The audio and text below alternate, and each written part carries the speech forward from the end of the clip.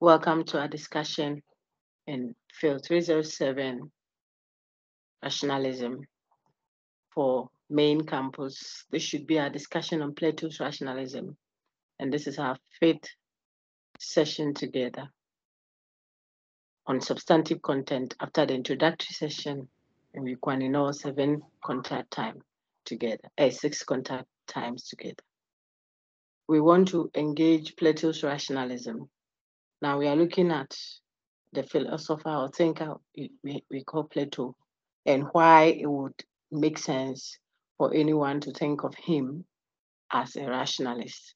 What in his philosophy, whether in his metaphysics or in his epistemology, or if you like, his socio-political philosophy, can one pull out to make the case that for so and so reasons, we would think of Plato as rationalist. And now that we've gone through the intuition deduction thesis, innate knowledge thesis, innate concept thesis, we've looked at even the superiority of reason thesis, the indispensability of reason thesis. We have seen various ways of conceptualizing the viewpoint called rationalism. It is a good time to now properly, to a, a larger extent, engage a specific author that we would want to name as rationalist. And that person we have in mind is Plato. What did you see in Plato? I don't like the IDs. Okay, put your name because I want to engage you. I can use your name to trace you on online. I can't be mentioning IDs to reference people. It will take the whole time. So put your name and take off your ID. That thing is not even safe for you if you are conscious of numbers and what they stand for. So just take it off and put your name. Names, we share them.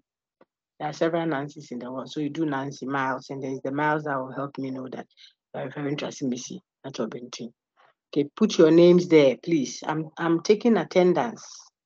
I want names so that I can call you for you to respond. Okay.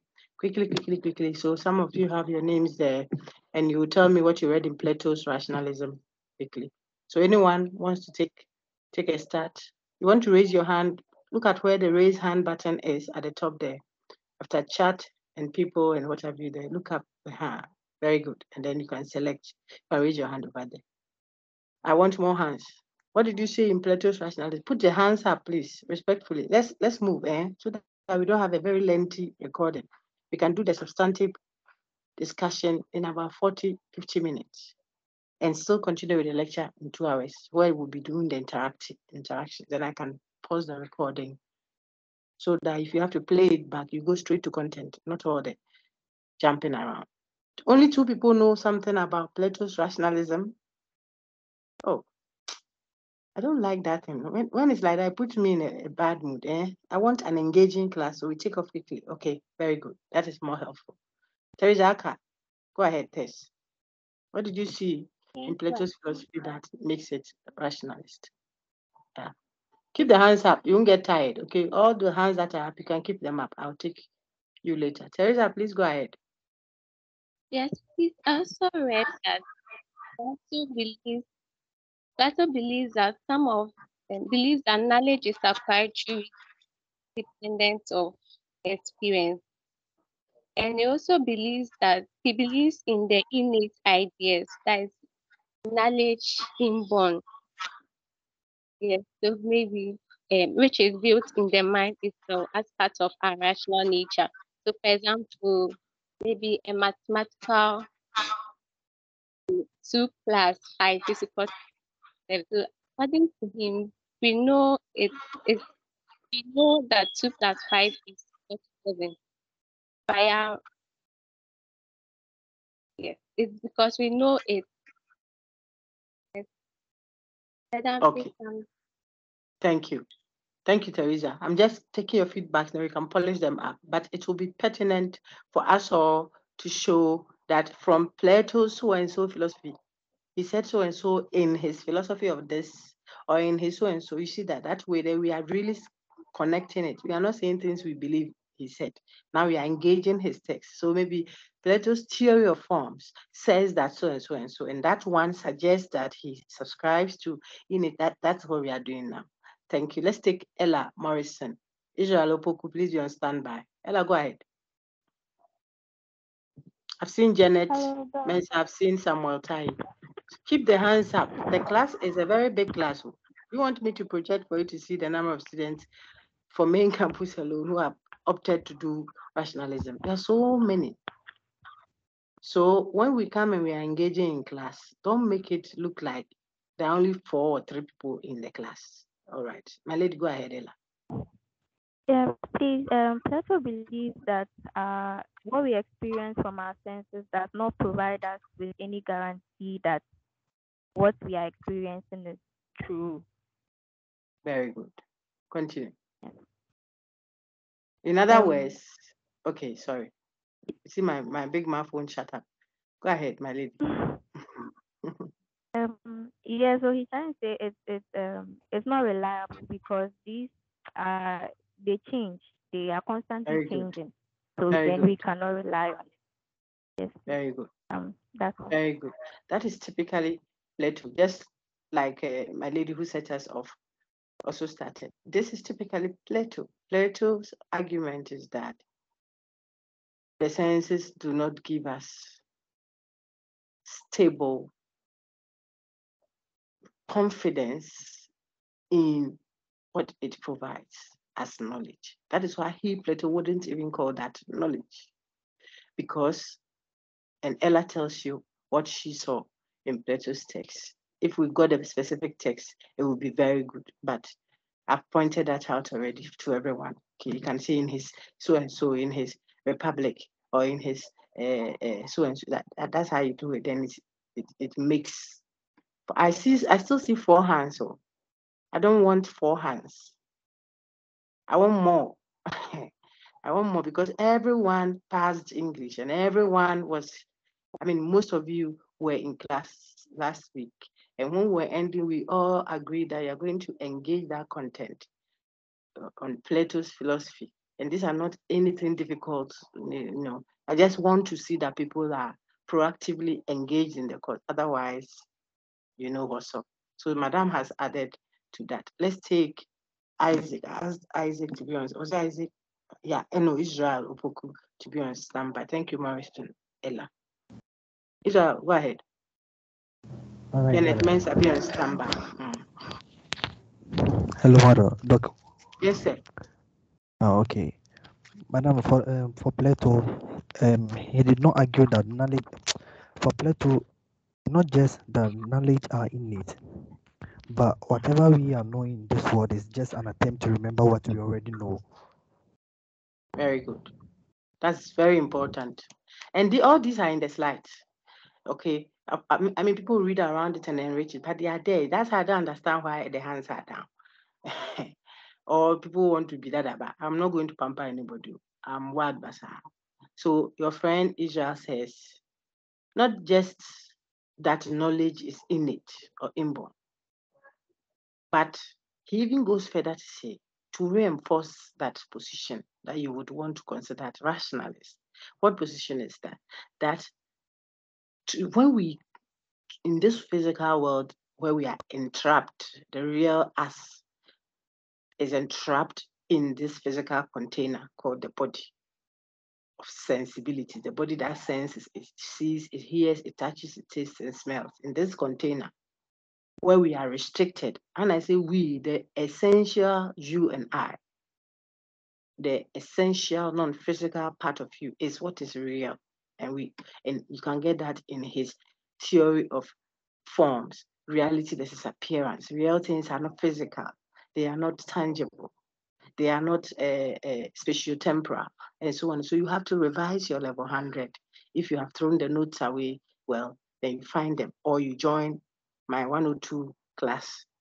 How do you do that? I have some recordings on that on the academic channel. Go there and revise. You don't have a, plenty of excuses. This same channel where I put my links there.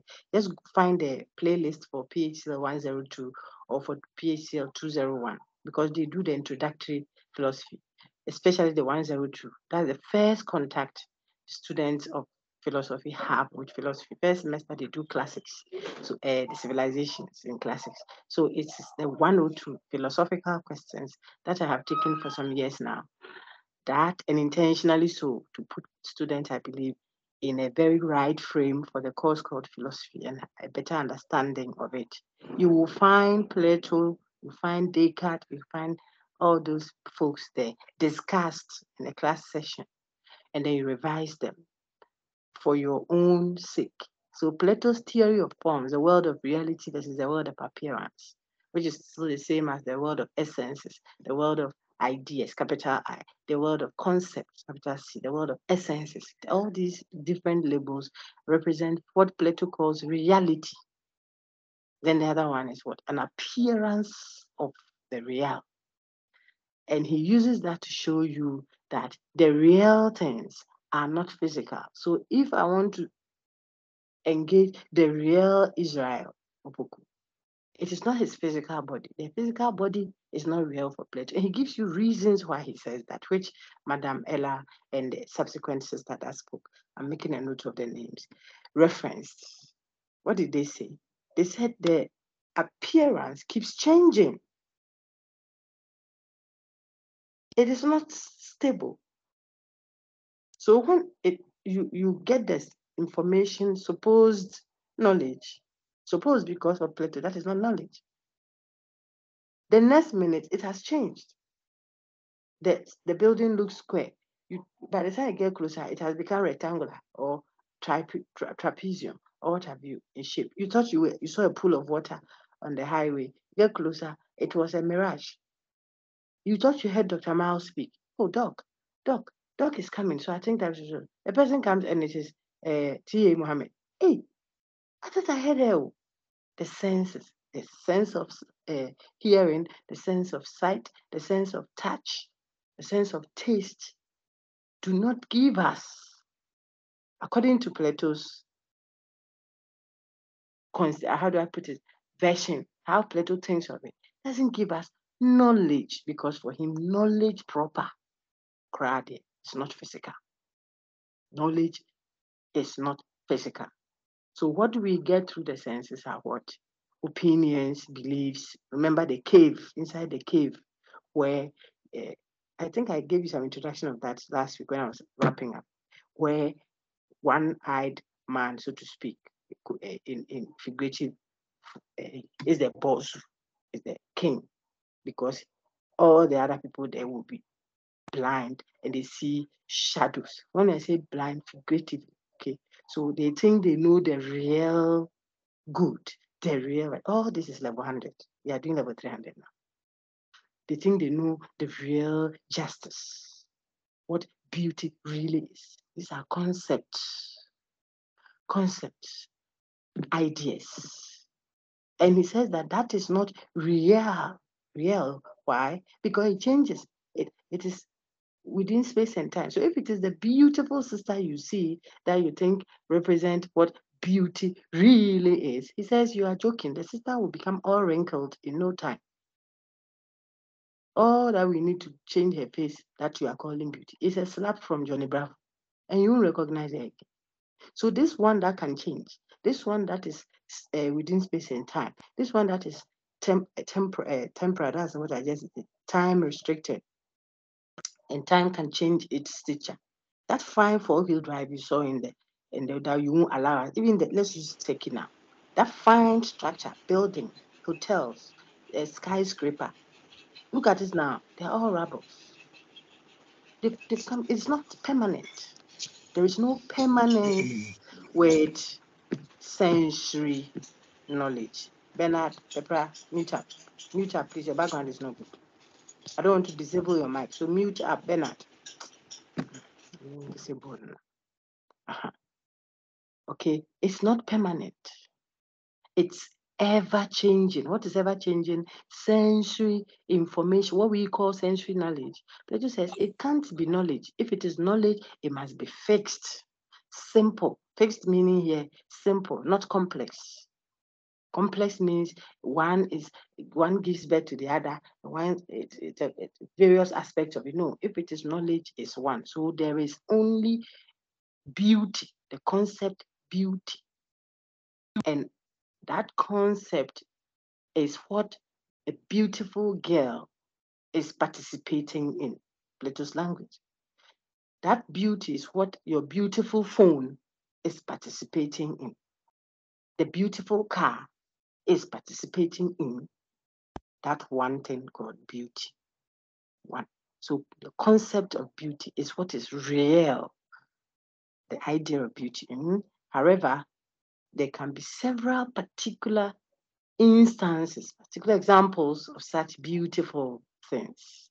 And those ones can change. Your pen can be broken in no time. That car will become a cake. Uh, it can even burn on the way, God forbid, and it, it will become ashes. If that is true, then Plato says that is not what knowledge is. So that's what your friend said. After he talked about real knowledge is already inscribed in what? The real us, the real you. If you want to call it the soul, some want to call it the spirit, some want to call it the intellect, some want, want to call it consciousness, non-physical parts of the human person. The physical can be destroyed. God forbid, a hand can be cut off. People may lose their limbs. Eyes may close. In fact, the very essential you, the soul of spirit, can exit and be totally separated from the physical container called the body. And when that happens, in Plato's term, that is glory, hallelujah, celebration time. That is what we call death. So a real philosopher should be celebrating the the the, the sad exit of Achu, our friend. Why? Because his soul is now so free. I say, when you hear soul, don't think we have gone to church. They're talking Plato. Non-physical you. So you can call mind in another language of it. You can say the intellect. You can say spirit. You can say consciousness. But because consci- a word like consciousness, for example, is so hmm, multifaceted and convoluted, you place it when you use the non-physical aspect of uh, the person. That side of actually should feel so free now. Why? Because it doesn't have the obstructions, the restrictions that the physical you and I have. You want to reflect on important things, that you feel hungry. Because you eat. This body obstructs our view of what the right thing is. Because you know very well you shouldn't copy. It's wrong. How do I know? You already know, says Plato. No one teaches you that. It is in it, it's part of what makes you you, rational. So the human being who is a rational being already knows a concept like right, wrong, good, bad, just, beautiful, organized society, justice. I, I mentioned that already. You know all that already. What has happened is through the trauma of death, you've forgotten. So that is the point uh, say Israel just made that you are only trying to remember. So in this physical world where you are trapped, unlike our brother Achu, who is now liberated from the restriction of the container. Is that a liberation? He says, yes. Plato says, yes. And liberated. When you fast, for example, what you are doing is you are beating down the effect that the physical body will have over you. Because sometimes, even when you hear go, I'm talking about the desire and joy with the football. You say go, you can you see. Do you see what happened with with our speaker, Ghana speaker uh, of Parliament when Ghana scored recently? Yeah, you can jump and dance. Uh, everybody was excited. You can jump and there's no control. You're so happy. Talk about when you are so hungry, your eyes sees food, the type you like, adorned and set on the table, and it's not yours. You know it's wrong to take that which is not yours, but your stomach is hungry and your eyes has seen. If the brother is, when the brother touches uh, back, and wraps it and say, oh, I draw, Ajua, Ajua, and then Ajua will do oh, black coffee, black coffee stop, I don't like that, coffee, and she's doing all those things. It is the sense of touch that is going to make her go looking for what she shouldn't go looking for.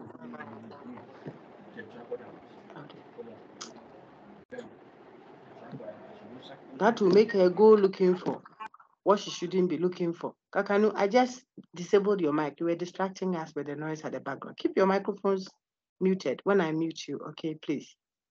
Because sometimes you don't, do it intentionally, but it, it, it obstructs what you are doing.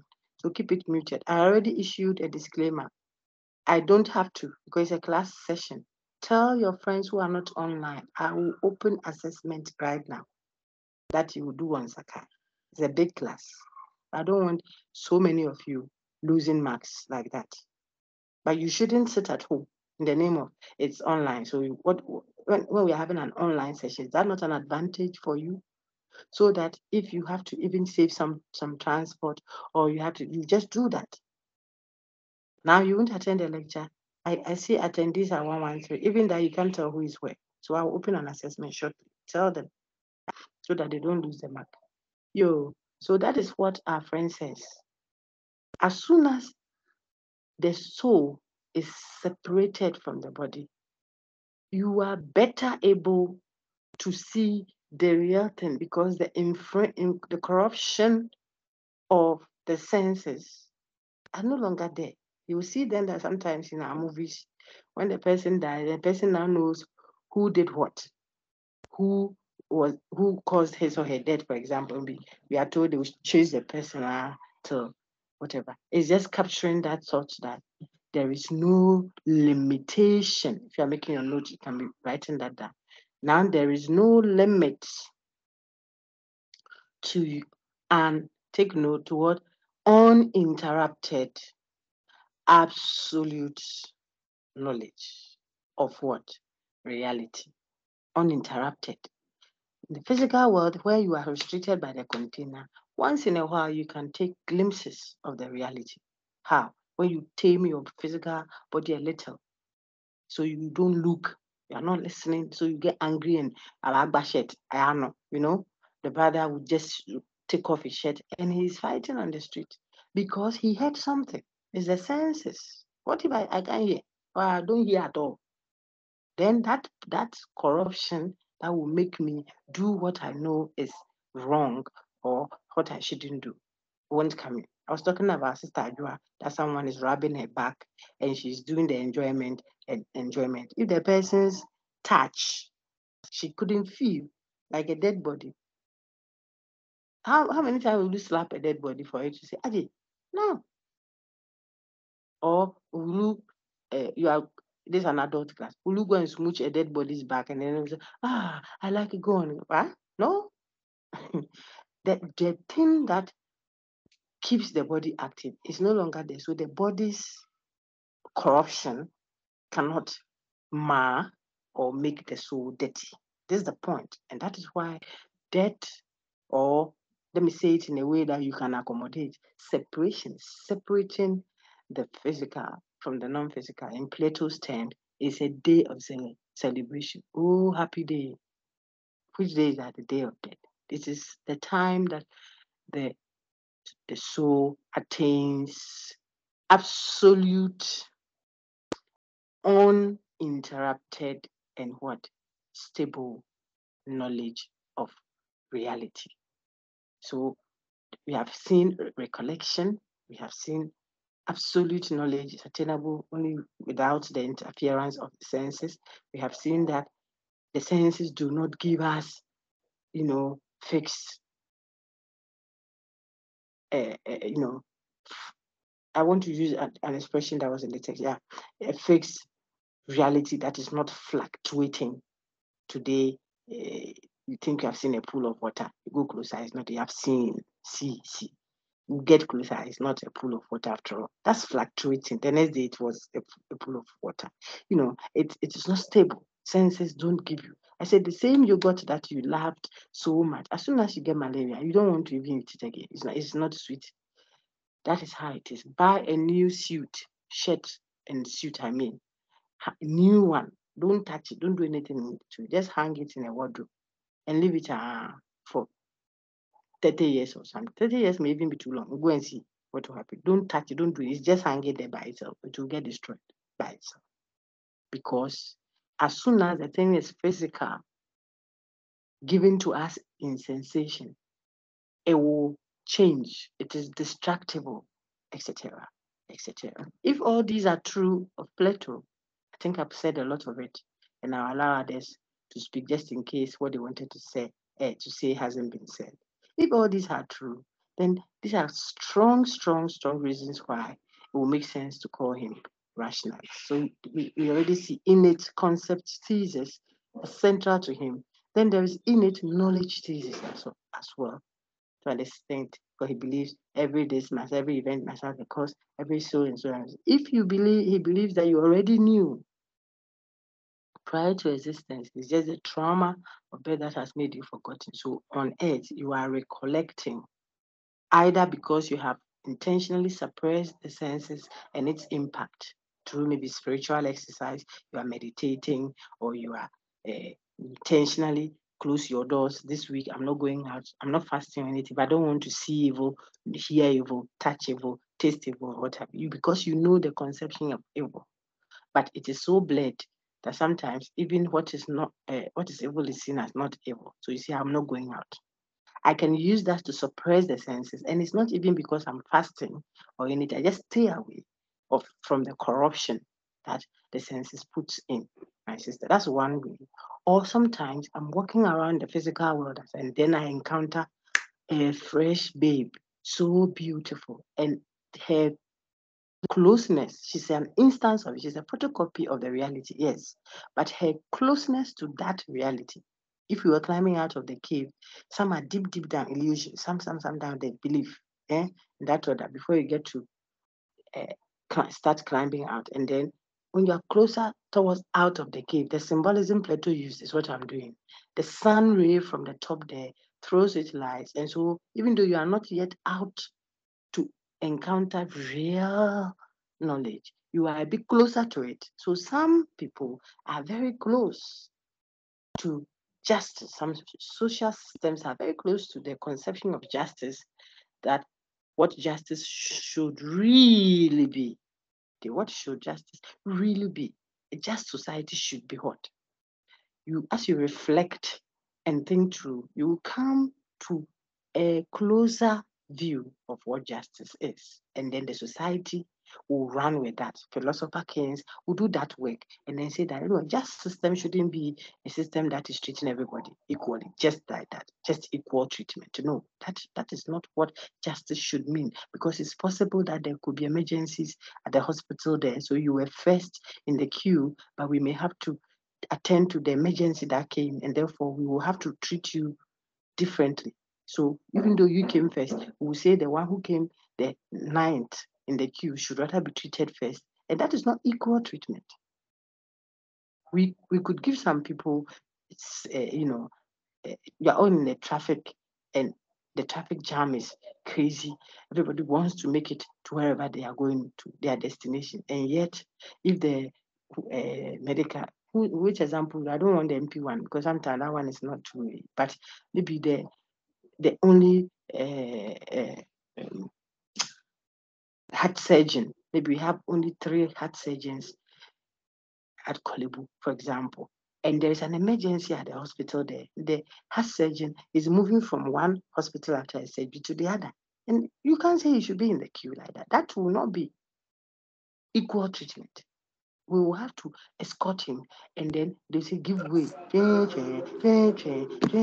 And then the heart surgeon will be they, they give way for him to come and pass because he's going to save a life. When you too, you are coming to teach or you are going to buy gobe and you are very hungry in the trotro. But your will be in the queue for 30 minutes and the man will come and pass in three seconds and he's gone, escorted by police. That is not equal treatment, but perhaps it is fair because a heart dying somewhere.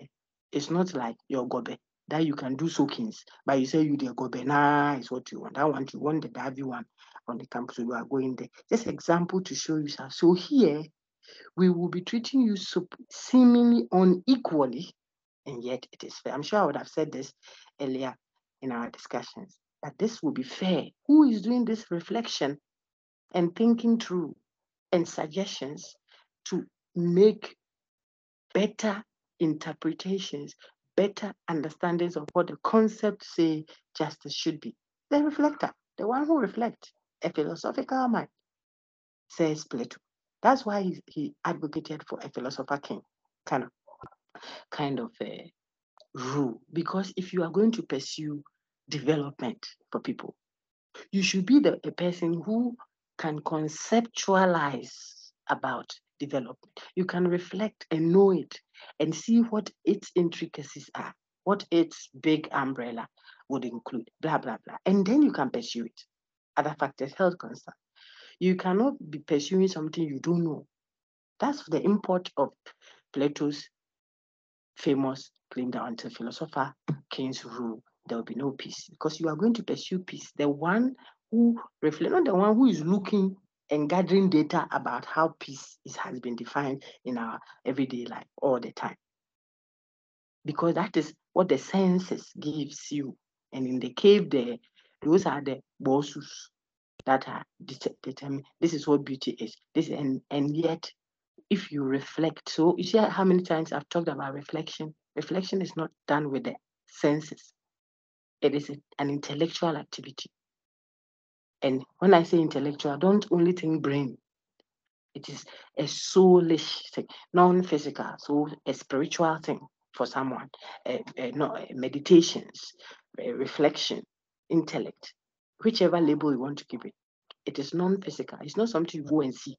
And I think I told, I don't know if it was this class, because I'm teaching things that overlap a little in terms of uh, subject matter but the depth is different for the different levels I'm teaching, even level 400 too. So sometimes the examples overlap. Now, I'm saying that those who like to create, like an artist, not physical artist as in drawing alone, but one who creates music or one who creates even fashion, they like to, sometimes they like to be away for a while. They like the mountainous, very quiet, not this busy industry, boo boo, smoke, boom, boom, boom, boom, boom, boom. Oh, yellow, oh, yellow, kind of. Ah, no, no, no. It doesn't help for reflection. Academics are like that. You want to write some three, four papers, ideas that have come that you want to develop. Sometimes you take a quarter off. That's what sabbaticals are for. Go and have a rest away from everything, and then you reflect. And you see that it gets to a time. You see that you are you are like sailing and then the ideas just keep coming because you are able to think without too many obstructions. All these things I'm saying are what Plato.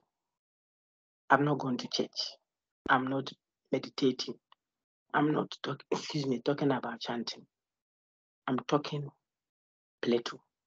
And so if these are t- uh, bits in his philosophy that you can clearly outline, then you have good reason to think of him as a rationalist. Any questions or any additions? So let me see the hands that are still up. If there's something else that we could have added, I see Rahel Owusu's hand just popped up. I'll take it. Jonathan's hand is still up.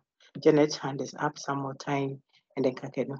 If Kakeno, if your hand is up, uh, where is it? Okay. Then you can ask your question. Kakano. If Kakano is not able to spend some more time, you are able to. Hello, Doc. Good afternoon. Good afternoon, sir. Doc, please, the little that I want to add up is uh, making some references from our previous lectures on the rationalism. Yeah we learned that the rational gives room for reason, being the chief source of knowledge prior to experience. Mm. So yeah, Plato also comes in and says, yes, as a rationalist as he is, he also agreed that that knowledge is a prior to experience. But mm. in one way or the other, our experiences also trigger certain kind of knowledge that you already have without having ex- experience at that time. Mm-hmm. But it, it, it is it's a sign of causing it for us to remember it. So, for instance, uh, using that statement that no one teaches a child who God is. So, for instance, if a child is in, in the church and they say that God is good all the time, yeah, the child already know that there is something or someone called God. But when mm-hmm. that statement is being made, it it, it draw the attention, uh, the child attention to that there is someone somewhere called God. So mm-hmm. the person was the child was already having some some kind of knowledge about God, but it's, mm-hmm. it's due to uh, that thing that was said in the church. That's what brought his attention that God is exactly. So that's little exactly. that I would like. It's big. It's not little. Well done. It's very big. So Plato makes room for sensory, uh, but he will not call it knowledge. The impact, or if you like, better still, the trigger that the senses make to help us remember. Then that's Israel's own. Recollect knowledge as recollection mm, to help us recollect what we already know, especially when it comes to concepts, certain concepts. You know that it can't always be everything that you know, like the hair do you do seven years from today.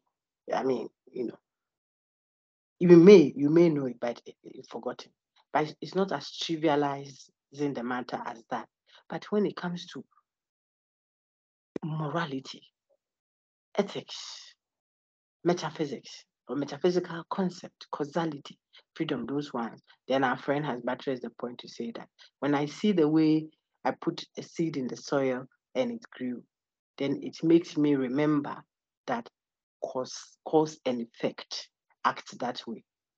Okay, so the one about God, the concept of God, the one about justice, the one about fairness, the one about beauty.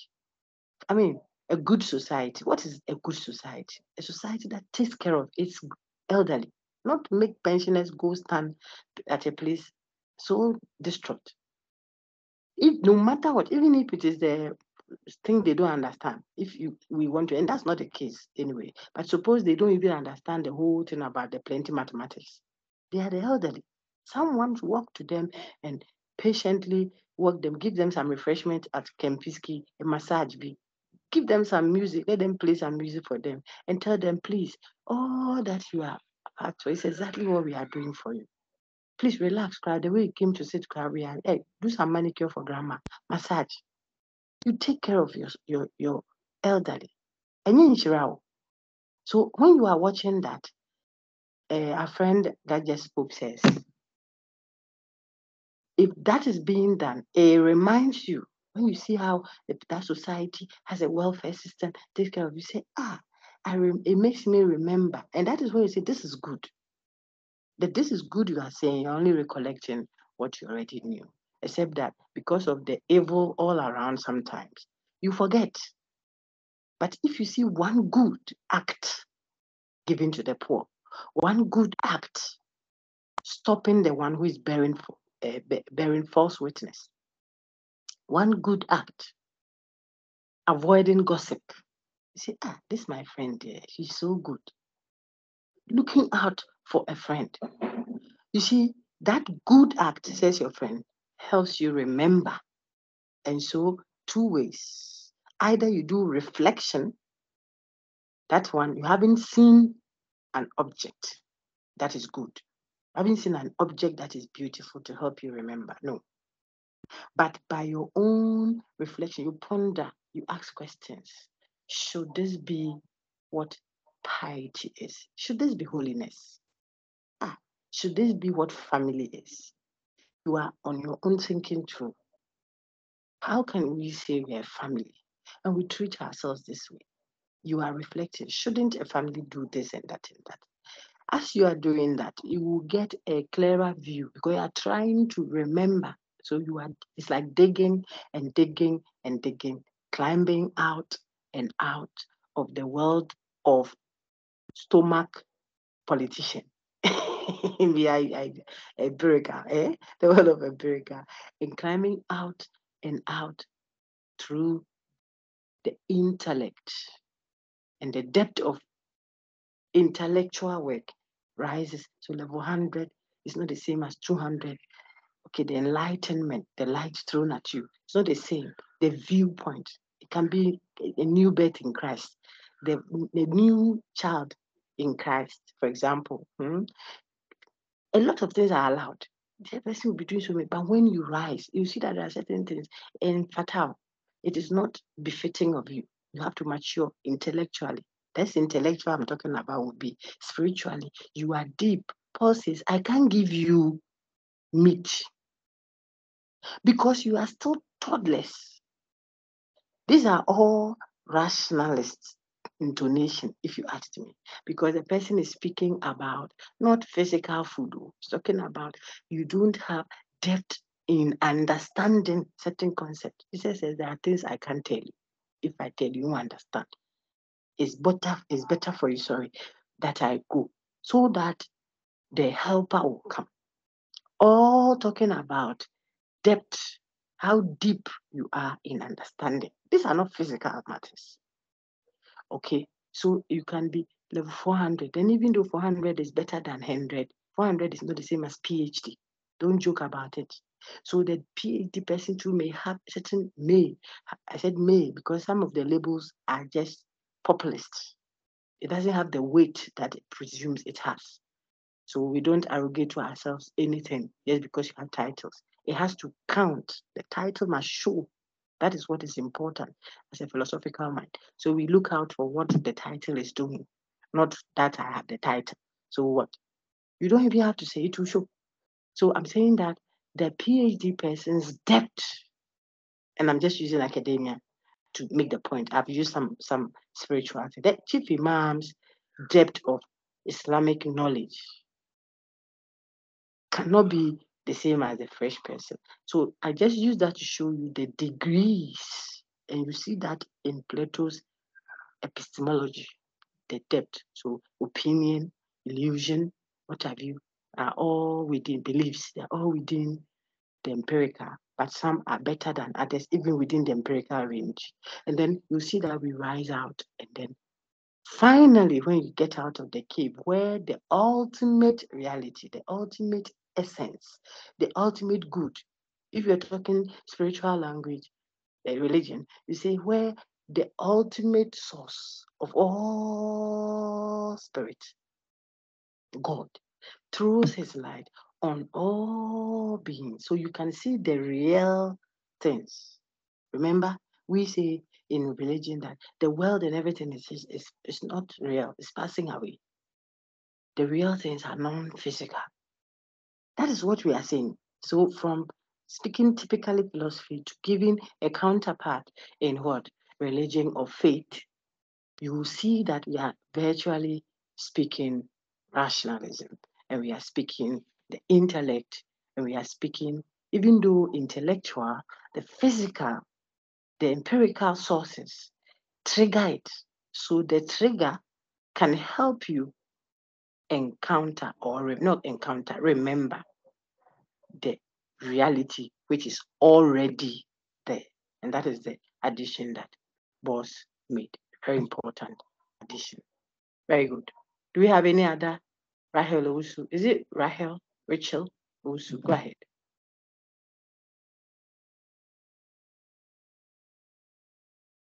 My, my lady, your hand is up, so go ahead, unless you are sorted. So Plato's rationalism, I've said everything. Look on my screen now. Yes, my lady, go ahead. I like that, Papa. Why you yes, call me like that? Yeah. My father shakes in his grave like that. Go ahead, please. yes, please, I'm Rachel. Yes. Please, I, I want to ask a question. Uh-huh a question concerning Plato, um, what he said about um, being separated from the body. That's how we can know more things, and there are no more limits into knowing certain things. The, is it the same? Um, I'm so sorry, is, but it the same as that knowledge okay. is uninterrupted, absolute, no fluctuation kind of what knowledge about the real. So when there is no obstruction from the body, you are able to really know absolute perfect triangle, for example, absolute perfect beauty, for example. That is the point. So that at that time there is no connection of the soul with the body because the body comes with its baggage of uh, blurred vision of the real you want to pray, then the, the sister's hips and her chest, you know, oh yeah, you are trying, but it's not you that the eye can see. The thing has anointing oil on it, and she has rubbed it and tight. So you want to be part of that money, but but still, I do this year, but didn't know before I would. so brother, brother will peep a little and say, church, you know, you want to pray, but the, the lecturer has released I, and you just got a prompt on your phone from the email circular. So you, you see that you get a little distracted. But if you didn't see, it won't obstruct your climbing out of the cave, your meditation. Okay, now continue with your question because I got you. Yes. Please, is it the same as um, when you dream? Because some people say when they dream, they know certain things. Okay. Plato would not consider dreaming per se uh, because it will depend on how you conceptualize a dream. Do you think a dream is an activity of your senses or dream? When I say senses, you are at level 300 and you have philosophers, so you understand that senses means seeing, sight, hearing, touch, tasting, smelling. Is it is it those five channels that are are dreaming, or you think a dream is an intellectual thing, because then it will determine whether Plato consider the dream state as what uh, an intellectual state. Something dreaming is a physiological thing, it's physical. If you eat plenty, then your reflexes give you that impression. And so they can give a physicalist interpretation of how it is that you are dreaming. But the Akan philosophy, for example, uh, according to Kwame Gyekye, when he, he gives a rendition of Akan philosophy, we are doing that in level 200. Oh, we did it some two weeks or so ago. He believes that the spiritual part, which is really intertwined with the okra, that spirit, sunsum, or not also die. Sunsum is non-physical, or better still, immaterial. It's not a material substance, and therefore we can place it in somewhat the context that Plato does that one, then it will mean that the dream state, that which is dreaming, is the non physical you. And therefore, it will be better able to view reality. Better is a relational matter. To be better than if you were using your physical body that is located within space and time and can't know the reality of it. Look at this man that has been arrested in the name of being the one who possibly, possibly, I said, uh, killed our former MP years ago. He is still at, at the prison there because we cannot be certain. We cannot know for certain whether he did or he didn't. And so we are still investigating. Look at how long it's, it's kept. But if we were to deal with the, the one, the aspect of us that doesn't have limitations, we will know. we will know. That's a, the presumption. Okay, so that is the answer to the question. If you think of dreams as emanating from the non-physical, the immaterial part of a human person, then it can it can have a better view of reality than than the physical body world, and therefore it can be cl- more closer to real uh, knowledge than the other one. However, for Plato, so far as there isn't a total disconnect of the non-physical from the physical, attaining an absolute, uninterrupted, true knowledge about reality is is is not possible. Because even if you got the view of it, because you are back into the container, this prison cage of a body, you will get, you know, distracted again. Not only is it corrupting you, it distracts you. Like I told you, you want to make sure that this case you are going to sit on as a judge, you want to make sure that you administer justice, ensure that the wrong person who did the wrong thing is punished, and the one who has been wrongly dealt with receives, uh, you know, compensation or, uh, I mean, he or she is sorted. So you want a clarity of it. But by the time you go home, like the scenarios that we saw, then, then the, the, there's a good that is after you. If you're not careful, it can obstruct. It doesn't necessarily mean it will change what you are going to say, but it can blur your view about oh, maybe this man too. It was because of the after all, it we have children. Ubwa is the good. Is the good, especially the good, the one that has scent and that The scent in the soup that you are going to enjoy this afternoon can make you say, okay, the thing should have been 12 years, but we can we can still punish him. Say they are three years to he has still gone so. And Plato says, what if you didn't feel hungry or you won't even smell this, the goat meat and make it worry you so much that you want to look good. That is the point. So until there is a total disconnect, you can do a good job reflect, meditate if you want to talk spiritual language, go for fasting, you know, waiting if you want to speak charismatic, you know, meditation. You do all that, and then just when you are descending from the mountain, you will see the sister, like I told you, or you see the brother having plenty cash. He has gone to do, I don't know the name you give it now, but in the past we, we had words like Sakawa, and he has so much that he, he picks it and throws it at the funeral ground, and everybody's saying, Way koto, way koto, way oga, way oga. And you too, you have come to Legon, have done rationalism. And you are waiting for them to finish. So you ask your uncle for transport back to Accra. So you're seeing of it, Charlie. You sit and say, This good thing that I'm wasting time, cry, is it worth the while? Maybe in the long run, reason will prevail See another word I've mentioned, reason, intellect. So maybe reason will prevail, but it the, the obstructions can can be many. That what you saw can distract you. There's a sister that may be struggling with her relationship or uh, you know marriage. There can be a guy that is struggling with marriage or relationship because he cannot bear the size of the woman's now after one delivery. What if he, he didn't see? So you know very well that you shouldn't do the other thing that you are doing with that cheap girl, you see, for example. You know you shouldn't.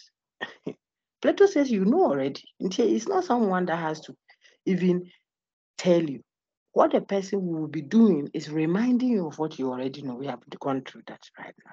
But you, you can also see the, the stomach too. It has become too extended. And it, you are not pleased with it.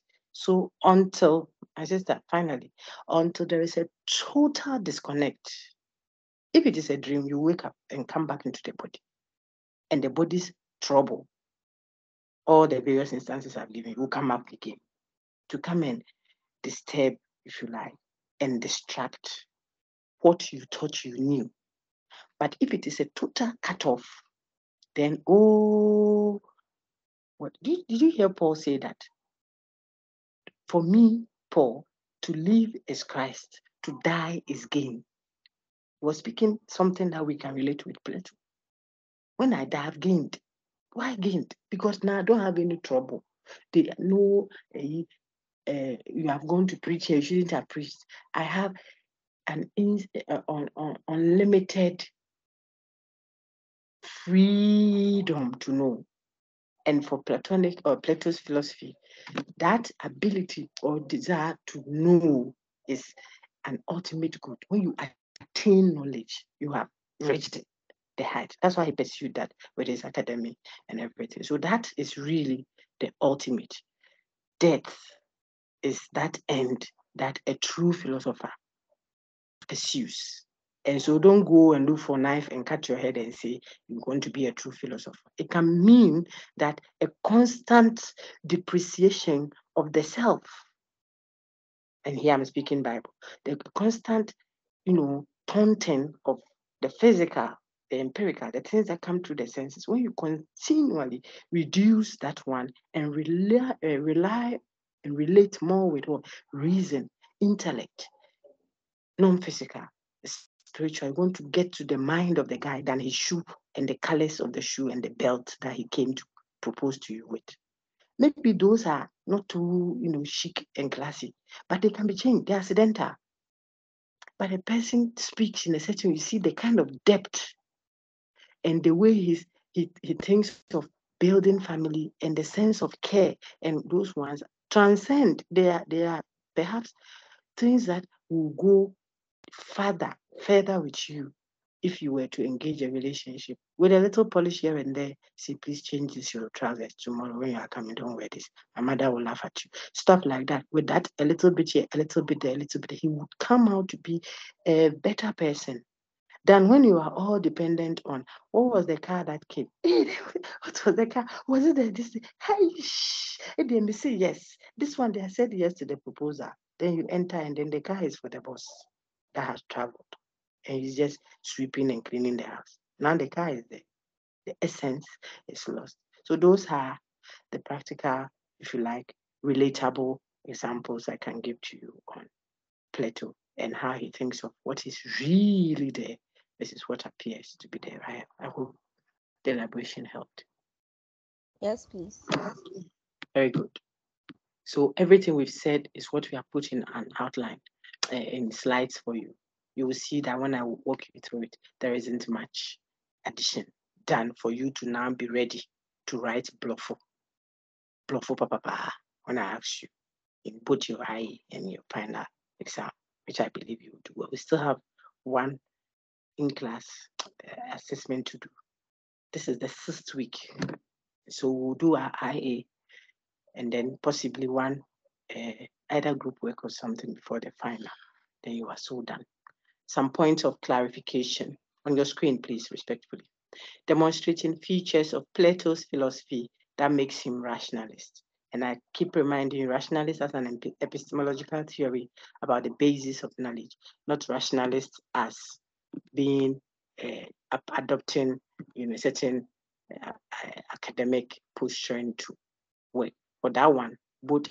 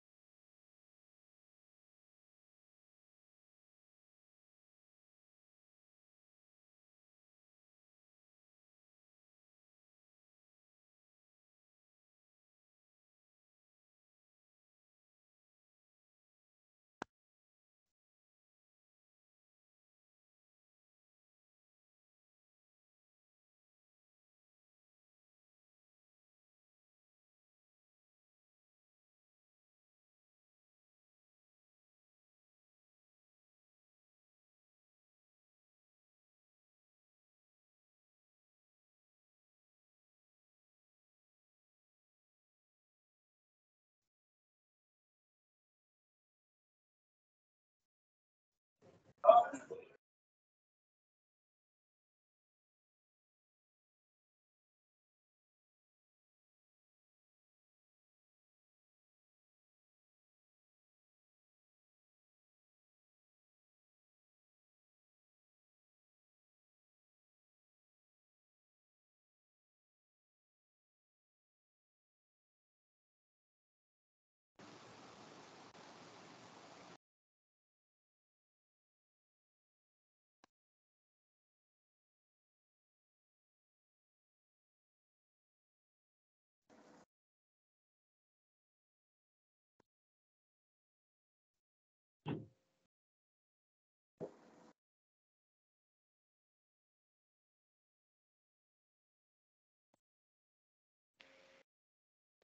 All right, I'm back. I had to recharge. I think my data ran out, so I had to recharge, but I'm back. And so we can quickly continue. Please, can you hear me? Yes, please. Yes, please, doctor. Yes, All right, so we continue from there. I was just elaborating on point two. So quickly, I, sh- I will share my slides. Yeah. So this is where I got to. I said that when you hear rationalists, there are two ways of thinking of that word. The general sense, the generic. When we say, "Oh, be rational about that," I've said that uh, most of the things I say, I'm almost always repeating them for emphasis, and then for you to now come to terms with it. Ah, that's what you meant. Oh, I've heard, I've heard you say that often. Ah, ah, that is the point. Okay, so I've said this over and over again. General use of the word rational when you talk of ah, this young girl, you want her to carry two buckets of water. Ah, it would be rational. That'd be rational use of that word rational there. And when you said be rational about that, you didn't mean be uh, the opposite of empiricism. We're not talking epistemology. We're speaking rational, the word rational in the generic sense of it, where both empiricists and rationalists adopt that method. Okay. Whereas we can talk of rational rationalism in the strict or technical sense of the term. So someone read what is on your screen for me. I want a name that will make remembering easy for yourselves. Tabitha, please read. Thank you. Janet, thank you. I see uh, Mabel, Mabel, Mabel Assay's hand also up, and then Justify. Oh, very good. Tabitha, go ahead. The general sense of the term rational simply means reasoning, reflecting, criticizing, examining an issue, etc., before arriving at a conclusion. In this sense of the term, both empiricists and the strict rationalist adopt a rational approach to philosophical study. To a philosophical study.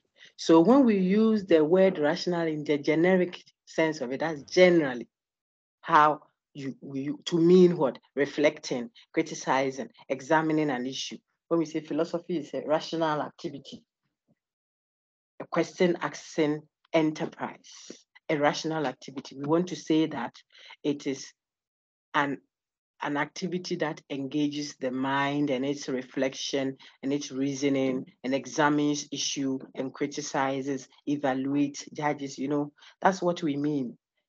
And for that, even the empiricists would have to adopt a rational approach to doing philosophy, asking philosophy, uh, pertinent questions, interrogating matters, all fall into the range of the word rational when used generically, in the generic sense, general, okay? But we can have this also. Clarification two. Rationalist believes that at least some knowledge or truth about actual existence, non-linguistic, non-analytic, is acquired through reason independently of sense experience. Very good. This is very important. And I want you to take particular attention to it. The contention between rationalists and empiricists, as we have discussed, is not really about linguistic or, if you like, analytic truth, redundancies, tautologies. Even the empiricist who is strictly arguing that every knowledge is sourced ultimately from sense experience, mm, empiricist. Even that person admits that you cannot say a bachelor has beaten his wife mercilessly. And that when I tell you, oh, but you, how can this be? You say, you come and see the girl's face. He doesn't need to come and see, even though he says ultimate knowledge is always sourced from experience. The, the empiricist knows that there can be analytic truth. There can be what? Uh, what's the other one? Linguistic truth that do not depend on experience in how you know it. And yet, ultimately, it is sourced from experience. So their contention is not about redundant truth. Redundancies means truths that are necessarily the case. by the language of it. You, you can tell by looking at the language. Then they don't need to go and observe, even as empiricists. What then is the contention about? They are contending about how we source knowledge or truth about what? Actual existence of something. So we are going to open it out slowly, a little technical, but follow slide by slide. I believe you looked at the slides before coming. So as we build on it and open them a bit more, you get it. And you are you get it well, so much so that you can also impart through others and even be able to critique well. What are they contending over? Madame read it. She said, a rationalist believes that at least some, because of the various versions we have studied, now you see why we say at least some, some knowledge. Because some may say all knowledge. Another may say, oh, not, no, or, not all knowledge. We are all rationalists, but I don't think it's all knowledge that we acquire, say, innately, or all knowledge that we acquire in, by intuition detachment. No. So you just say at least, and it covers everyone who believes in that view, regardless of the particular variation. So what do they say? This technical sense of the word rationalist, not the generic sense that references the word to mean critical evaluation, examination that we saw earlier. This one says it describes a person who believes that at least some knowledge or truth about actual existence, not linguistic truth, not analytic truth. That's why I said non-linguistic and non-analytic. Okay, they believe that such actual existence is acquired. So a knowledge about the existence of something, we can get that knowledge through reason without the help, or better still, independently of sense experience. So the thing is about experience, but we get it outside of experience, outside of meaning that without the five senses, without using experience. The thing is knowledge about experience, yet we acquire it independently of experience.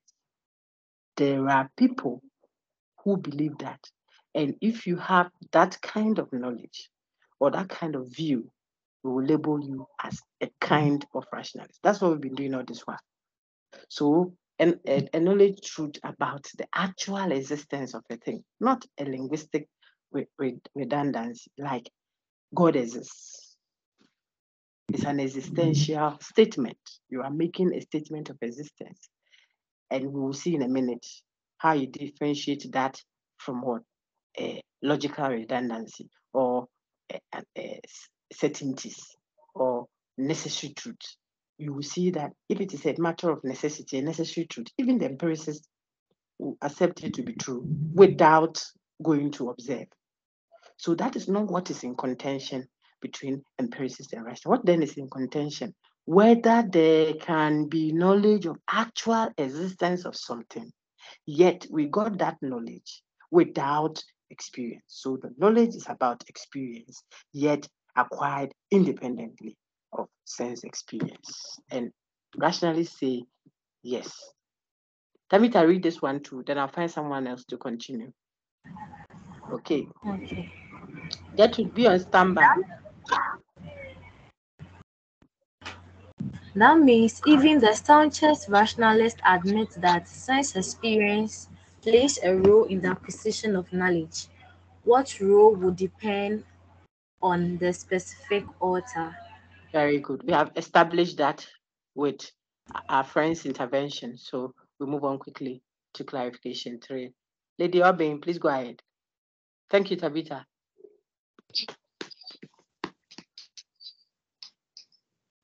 Oh, Auntie. Clarification Clarification okay. three. Yes, ma'am. Note that the rationalist claims that at least some truths about linguistic truths are known independently of experience. The mm. preceding statement is what empiricists vehemently disagree with. The empiricist's position is that truths about experience that is not analytic or non-linguistic like all other truths can be sourced from experience. And only be sourced from experience. Very important argument now. For you come and say, as a rationalist, you come and say that there can be certain truths about experience. These truths are therefore what we mean when we say non-linguistic truths. They're not language-based, so that you use just the language of it to say that, oh, but this is necessarily false or this is necessarily true. That one is not in contention. I've said that already. Both rationalists and empiricists will admit that linguistic truths are either necessarily true or necessarily false. So we can have contradictions or tautologies. That one doesn't depend on observation. It is the language of it. So we call them linguistic truth or further still uh, analytic truth. When you go to level 400 and beyond, I think, depending on which, uh, you know, course we are doing, you see that you can interrogate analyticity, whether it is necessarily, uh, you know, linguistic or non-linguistic. The contentions are there because it's philosophy.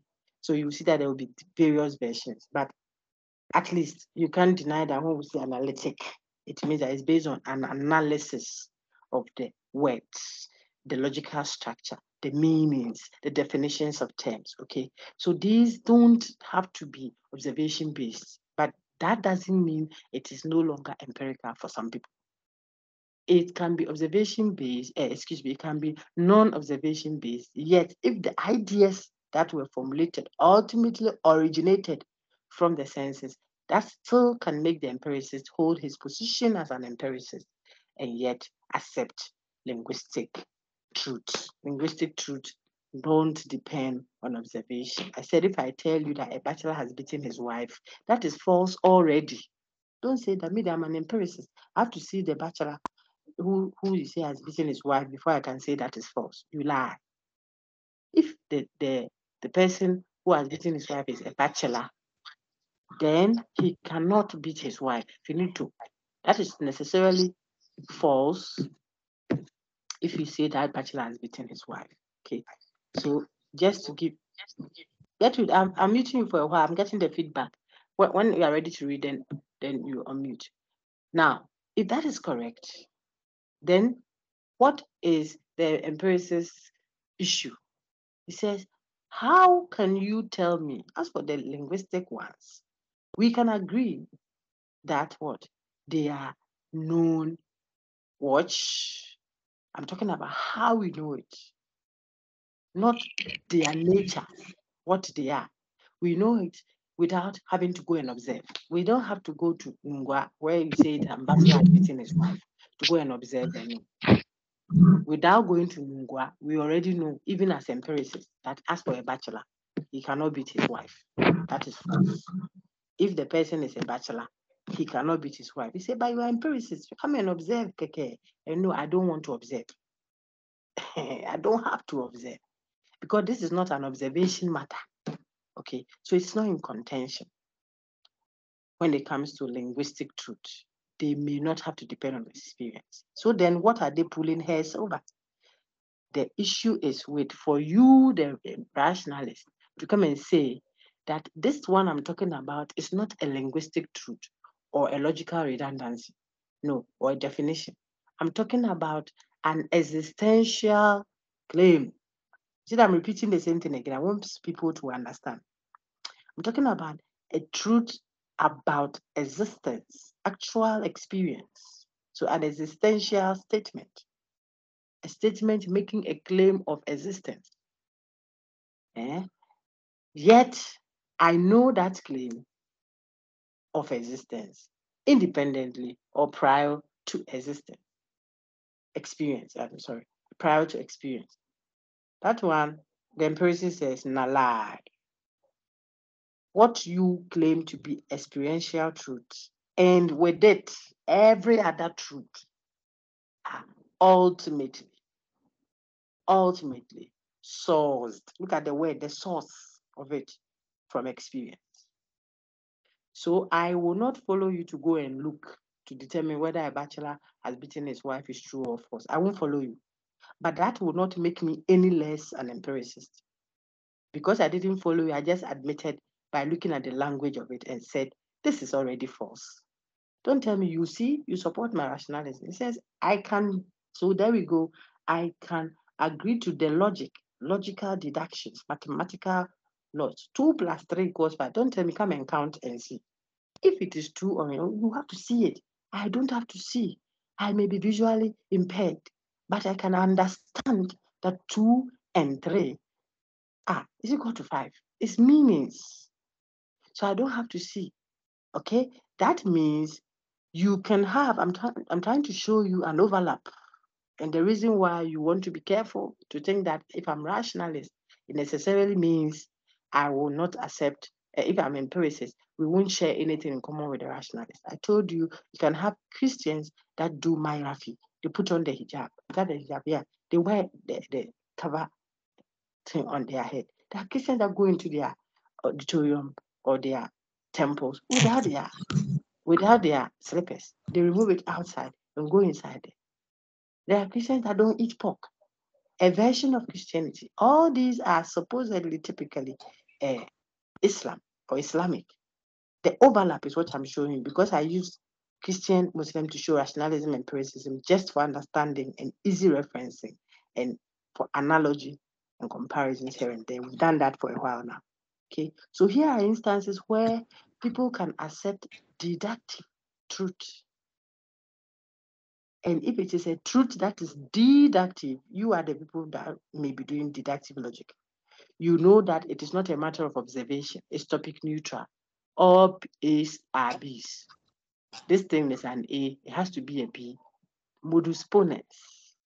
You are doing your axiomatization and then you put your predicate logic here. And all these are not dealing directly with what? Content. They are dealing with form. So it is the language of it. So you can have an empiricist. And if you think empiricist means I say I foresee before I go believe. If I no see, I go I no go believe. You, you don't have a deeper understanding of empiricism and rationalism contention. What the empiricist is saying, what the rationalist is saying, borders on what? The ultimate source. Where did the starting point, the origin of that idea come from? Empiricists say all ideas are sourced from experience. Rationalist says, a lie, depending on which version of rationalist you're looking at, whether King James or New Living Translation. They, one will say every knowledge comes from mind independently. Another will say, no, no, no, every day is too sharp. I think that it is this particular type and this particular. The other person no, no, no, it's not just about this. So these people to bring knowledge, just that our own to when it comes to aha. So they are contending over the ultimate source of especially what knowledge about experience, yet known independently of experience. Not just knowledge about experience, but knowledge about experience that you claim you got to know it independently of experience. You got to know it without experience. And Kwenu, I think we are having feedback from your unmuted mic. Please mute it. I don't want to disable it. You may have a question. So mute it yourself so that there will be quietness at the background. All right, thank you. Now, with that said, I can move on to the next slide and ask, uh, Madam was reading. Let's ask Magda. No, it was, um, forgotten who was reading because the person's hand is down. I, oh, it's Gertrude Obin. Obini wa. Ah, I said Miss Obin. So Obini wa Kwatin. Mate. Lady Kwatin then. Please continue for me. I thought that it was um, so on the certainty of linguistic or non-informative truth. Please read for me.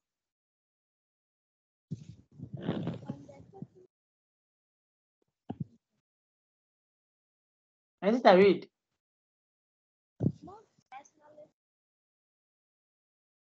Gertrude, I can't hear you.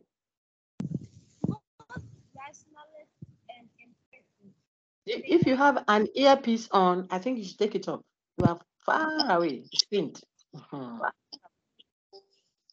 Most rationalists exactly. and empiricists may not disagree that linguistic truths, that is, analytic definition, non informative statements, logical, are absolutely, universally, or necessarily true by meanings or definitions or logical structure. Even the strictest empiricists accept that we may not need to observe to certain to ascertain the truth of such analytic or logical truths, but they insist that it is ultimately sourced from experience. There is nothing in the mind that was not felt in the senses. The Take note of that.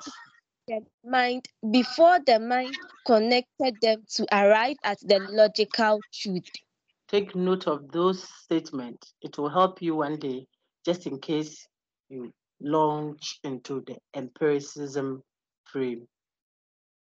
You can not know anything except it is gained through um, the empirical source.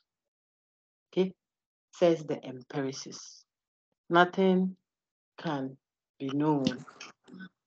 Nothing can be in the mind that was not first in the senses. You will see it from uh,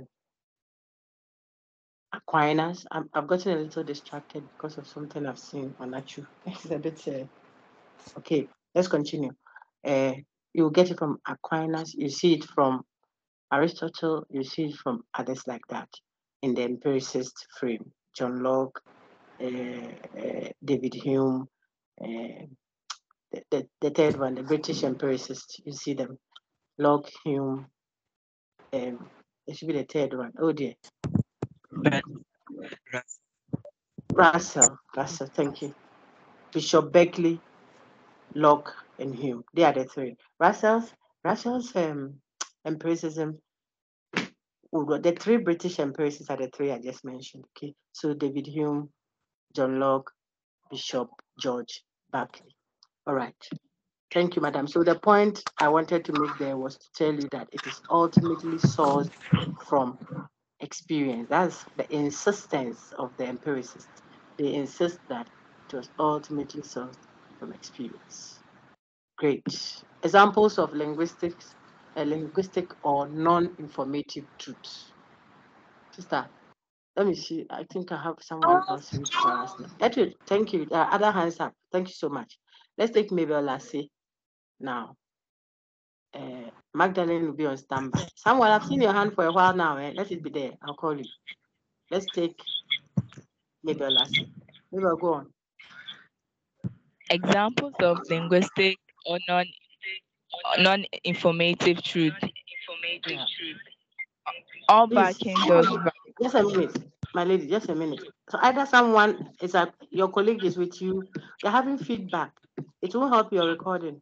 So you you want to mute that, or you listen to yourself in the laptop, not on the. I don't know. One, one thing should go off there. Okay. Is it gone? Yes, please. Very good. Quiet. Yes. Thank you. Hey, you are making all me look dogs. like a, a, radio station, Madame Bisano.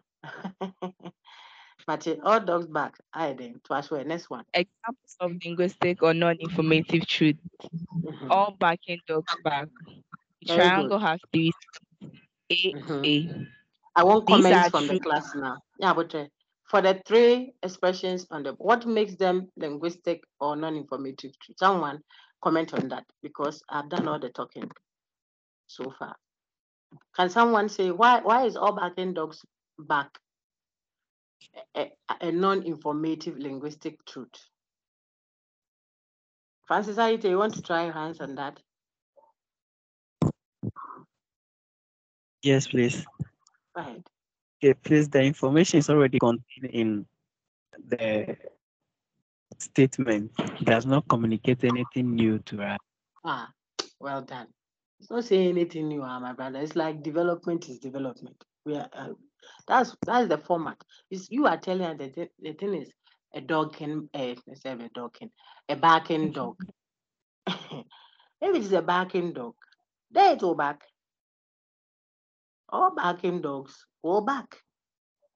So you you if you say all barking dogs back, you haven't given me information. Just repeat it. It's a redundancy. Let me just explain this thing. I've, I've said redundancy about five times already. In an office, if they say there is a redundancy, they lay people off. Because it means you are there. If you are inside, it's not full.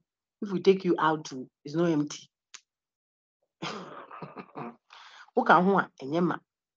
Wofiri mu a ɛntɔ that if you have that posture to life classroom lecture group work wherever you find yourself in a relationship you there if they add you eh you and you like it when you are labeled that way you have to know that redundancy can catch you. You have to be very very relevant. Not imposing yourself but you have to be relevant. The point is it, if there is a redundancy we lay people off because they are not adding or subtracting have that idea now and then come to our that's what a tautology is. When you ask me, Doc, what is critical thinking? And I tell you, critical thinking is when you are critical in your thinking. I said nothing. It's redundant. This person is doing something like that, and your friend did a good job on that when he responded.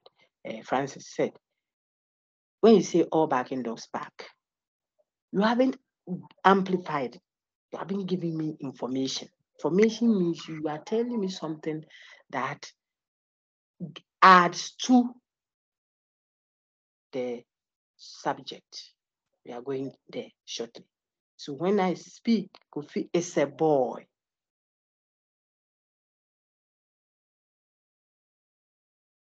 Out Kofi. For you to get some information, additional information about Kofi. Okay.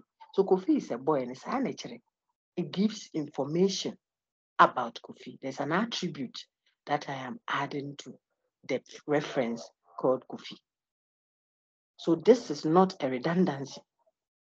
I have informed you, I've given you knowledge. But if you say Kofi is Kofi, you haven't added anything to the subject or the reference class that you had. So the subject hasn't received any amplification. You haven't amplified it, you haven't added to it. That is what is happening also in the second instance, where I say triangle. Look at tri means three. Angle. so if I say a triangle has three sides, it's a, it's a tautology. I haven't said anything, you should clap. And as soon as I said a triangle, it meant three sides because angles are formed when sides meet. So two sides meet here, two sides meet at the top, two sides meet on the other extreme. That is what three sides mean. Triangles, three sides. You are repeating yourself. A square has four sides. You are repeating yourself. Okay. I say you are repeating, meaning that you are not adding to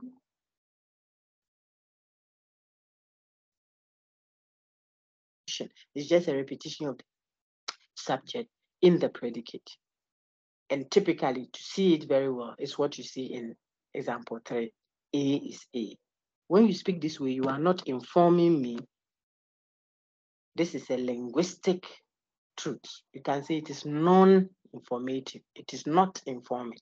Okay, it's a non-informative truth. This is necessarily true in all instances. If it's a flying bird, then it will fly. So if you say a flying bird flies, you said nothing. You just wasted our years. Until read now.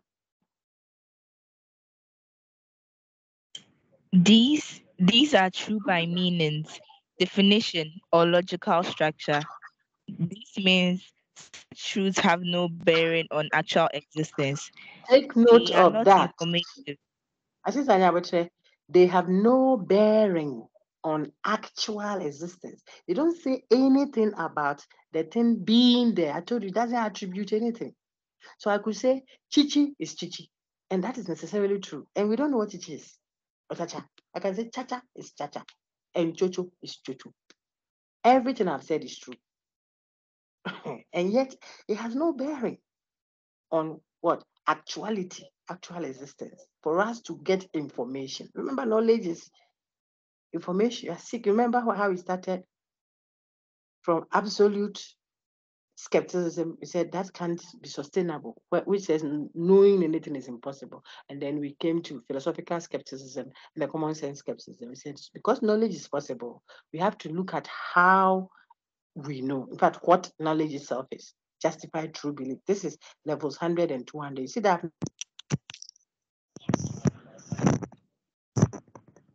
And you are built on them till you go to level 300. So I'm building on that. What is knowledge? Justified true belief, at least traditionally. Mm-hmm. Then mm-hmm. how do we come to know the two sources we have been engaging? Then how do we justify the claims of knowledge? So we, knowledge is bringing in information of a kind that we can try to find how to justify it and accept it. Now you come and tell us things that if you look at it properly, it's not informing us, meaning it's not adding anything to what it presumed to know. So there's a subject that you are seeking.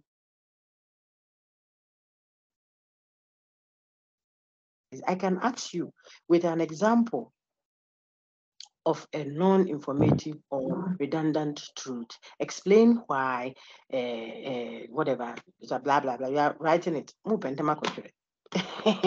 we'll say that this one has, because, we are let someone hi, this one has no. Hey, please, you don't speak. She don't worry. Eh? I'm, I'm just teasing people that they thought I'm going to complete the sentence so that they write it down. I, I'm, I'm done. But I've emphasized because it is important. These have no bearing on actual existence. And so they do not give content. Madam is going to read that. And so they are non-informative. They are true based on blah, blah, blah, blah, blah, blah. Madam, finish it. They are not informative, form but not content. They are true based on the meanings, definition, etc. They are certain, but but are they a priori or a posteriori? All right. So do you remember these two terms?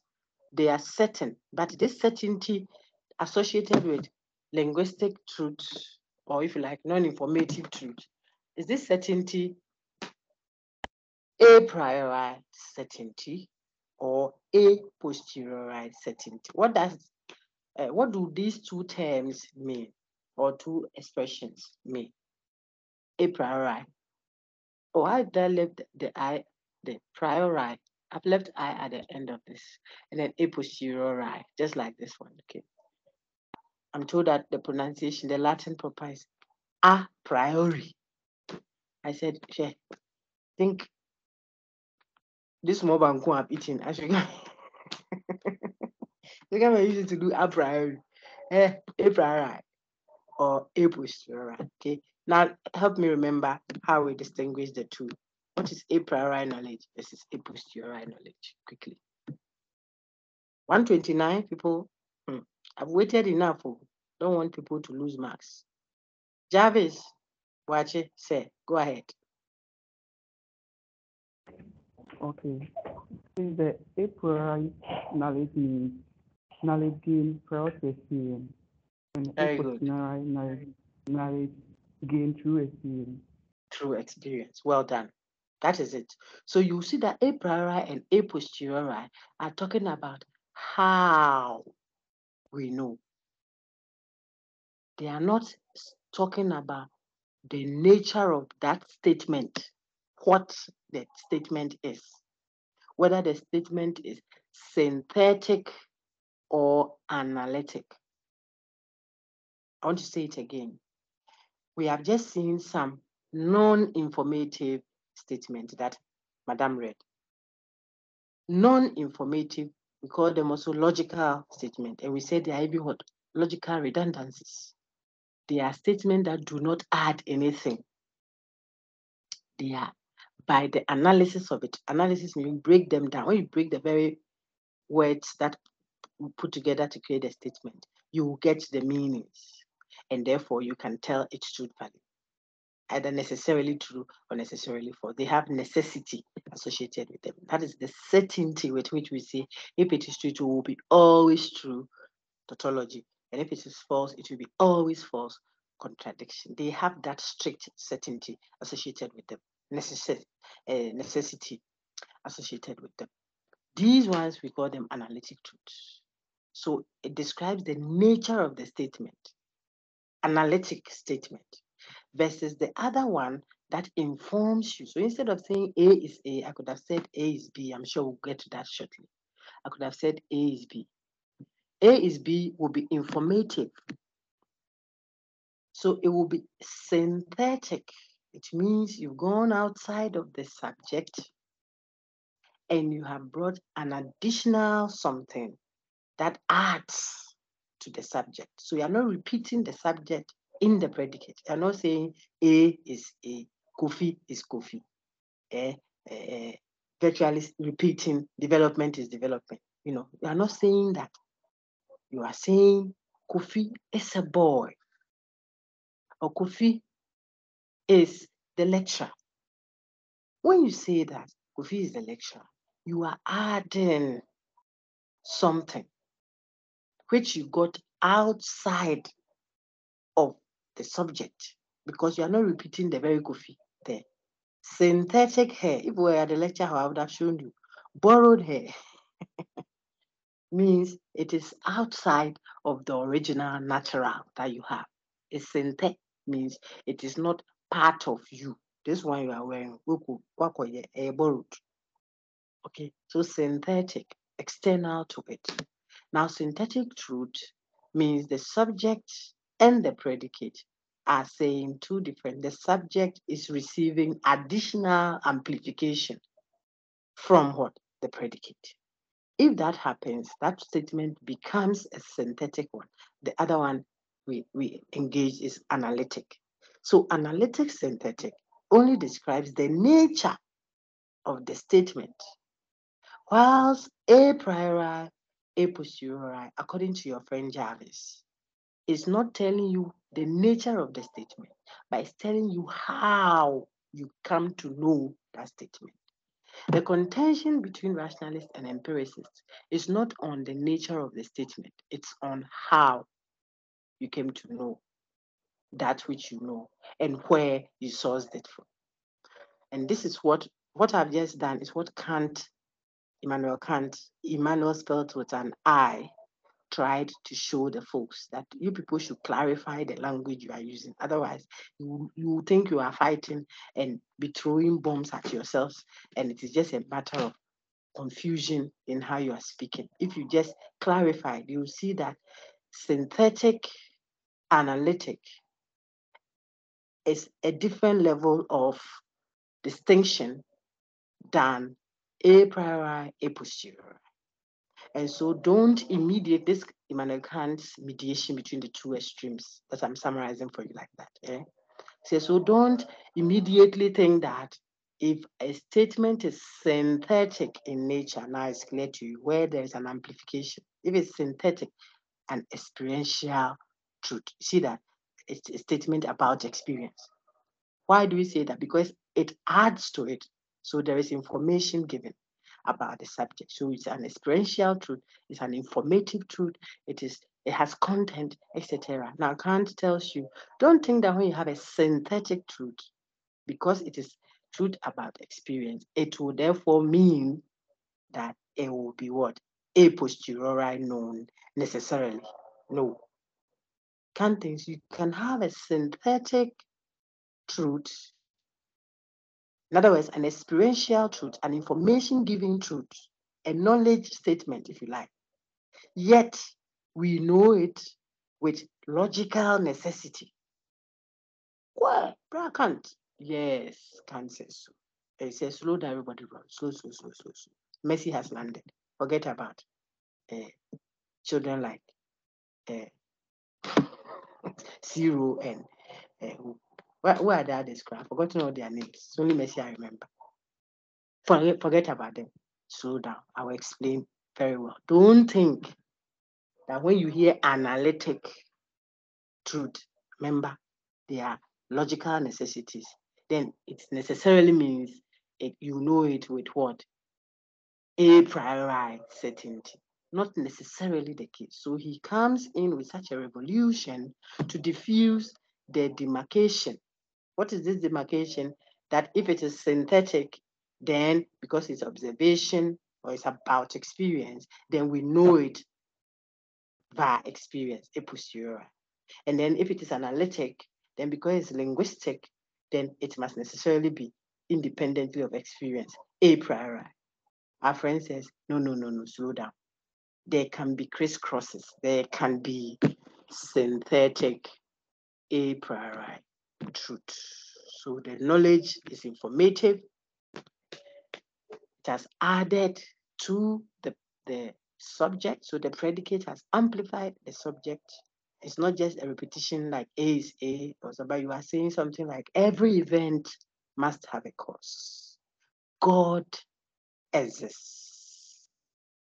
It is wrong to kill indiscriminately and stuff like that. Supposedly being experiential in nature because they are not a repetition of the word. They are not analytic or logical redundancies. I just gave you instance. And yet, synthetic as they are, they are they are known how a priori. In other words, they are known prior to experience, interpreted as what? With logical necessity and ap- applies what? In other words, it has a certain degree of certainty attached to it, yet it is an experiential truth. If it's experiential, it should be contingent, sometimes true, sometimes false. But this one is not that type. Synthetic and yet known without the help of experience and known with what? Logical necessity. That is what Kant's contribution, which we'll be doing maybe after Descartes' rationalism, uh, uh, before the before the IE cuts, and then after the IE, we'll come to uh, Kant and then close up the, the discussion by showing how Kant mediates, clarifies, shows the seeming confusion in his mind, and then synthesizes the two extremes and shows them perhaps you can't do, uh, you know, a mind without an accompanying experience all at once. But the kind of explanation he gives to do that is what is a bit woo. And then his advocacy for a transcendental idealist posture. All right, roll back. So what we saw here was just a priori, a posteriori.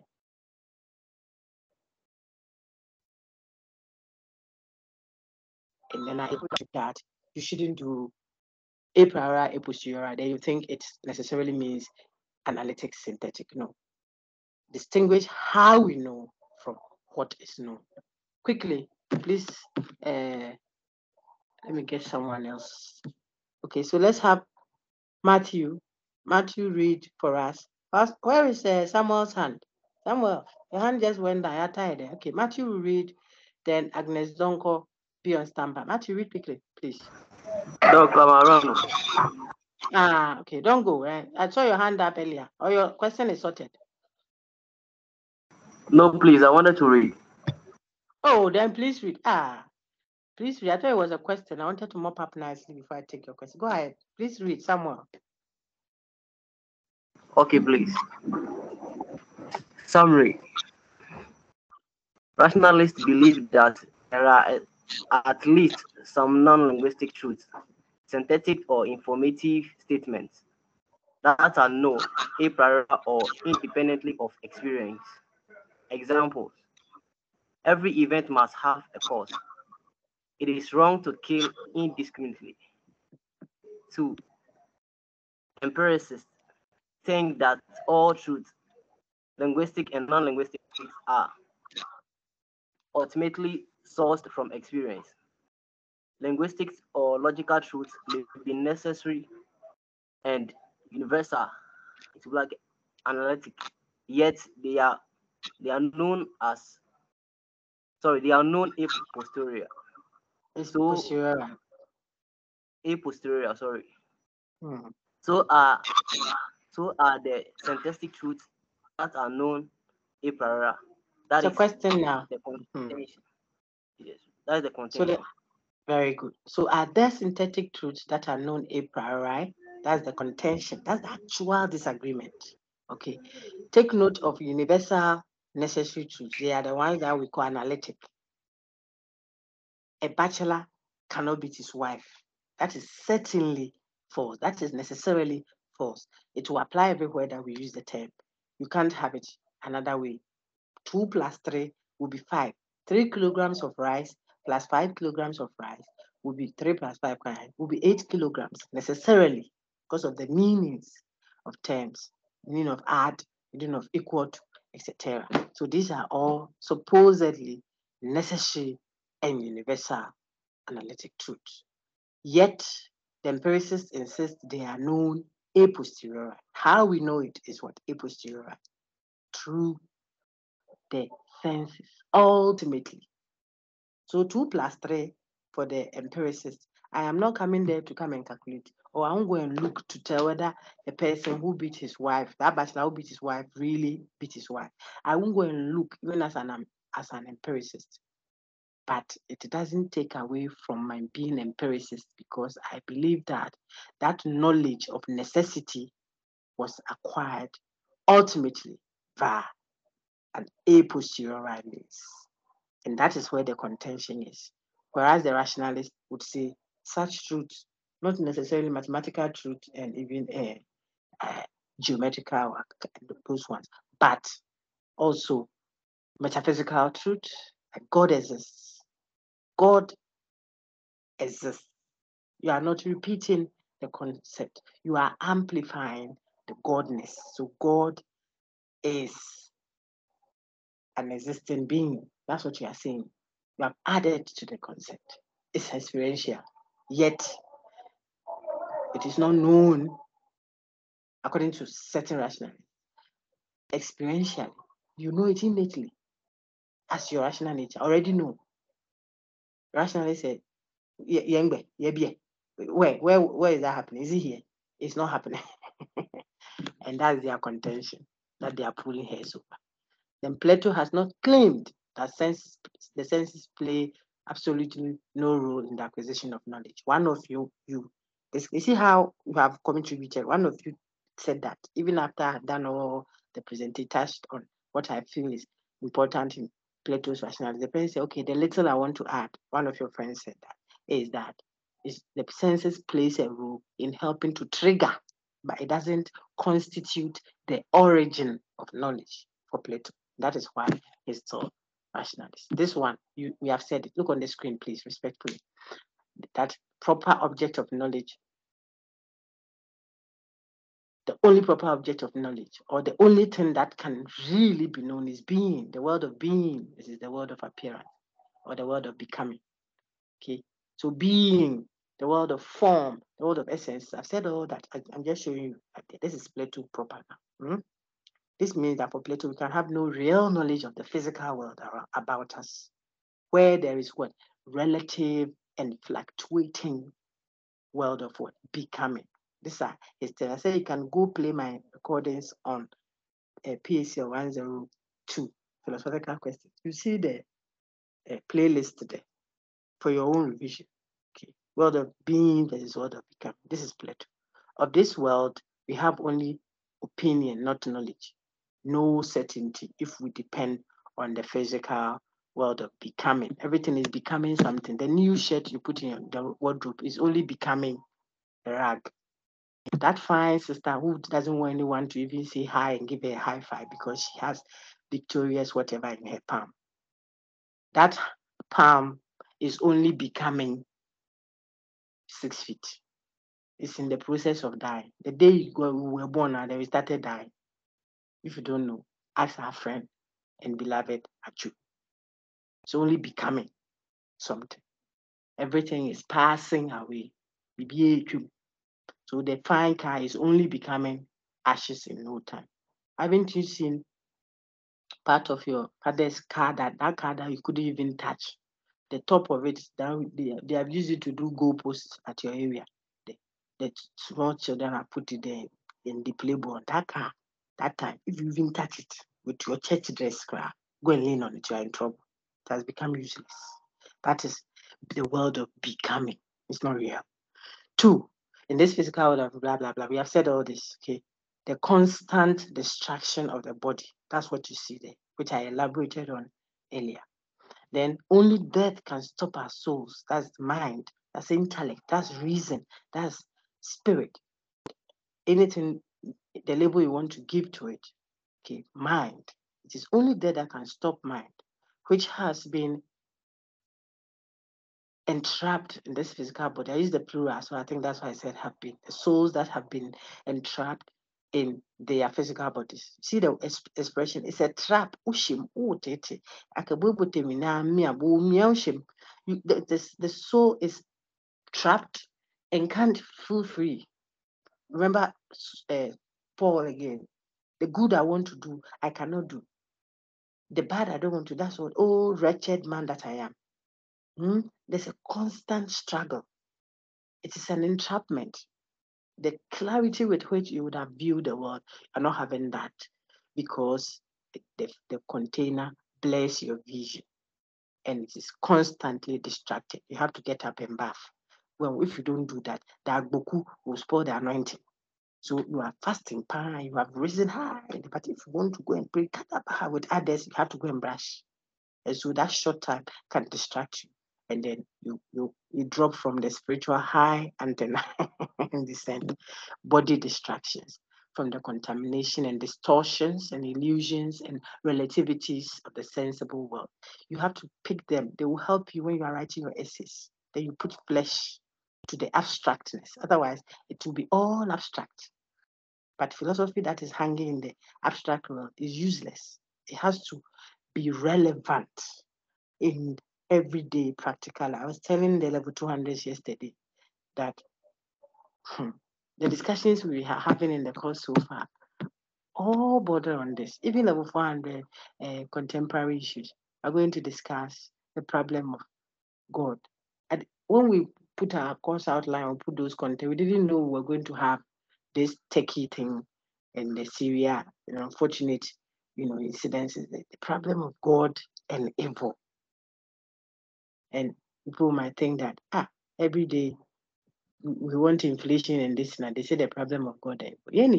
So right now that our brother has gone to that kind of gruesome, very well, I don't know how to put it, painful as it like that. You think there is nothing beyond the physical?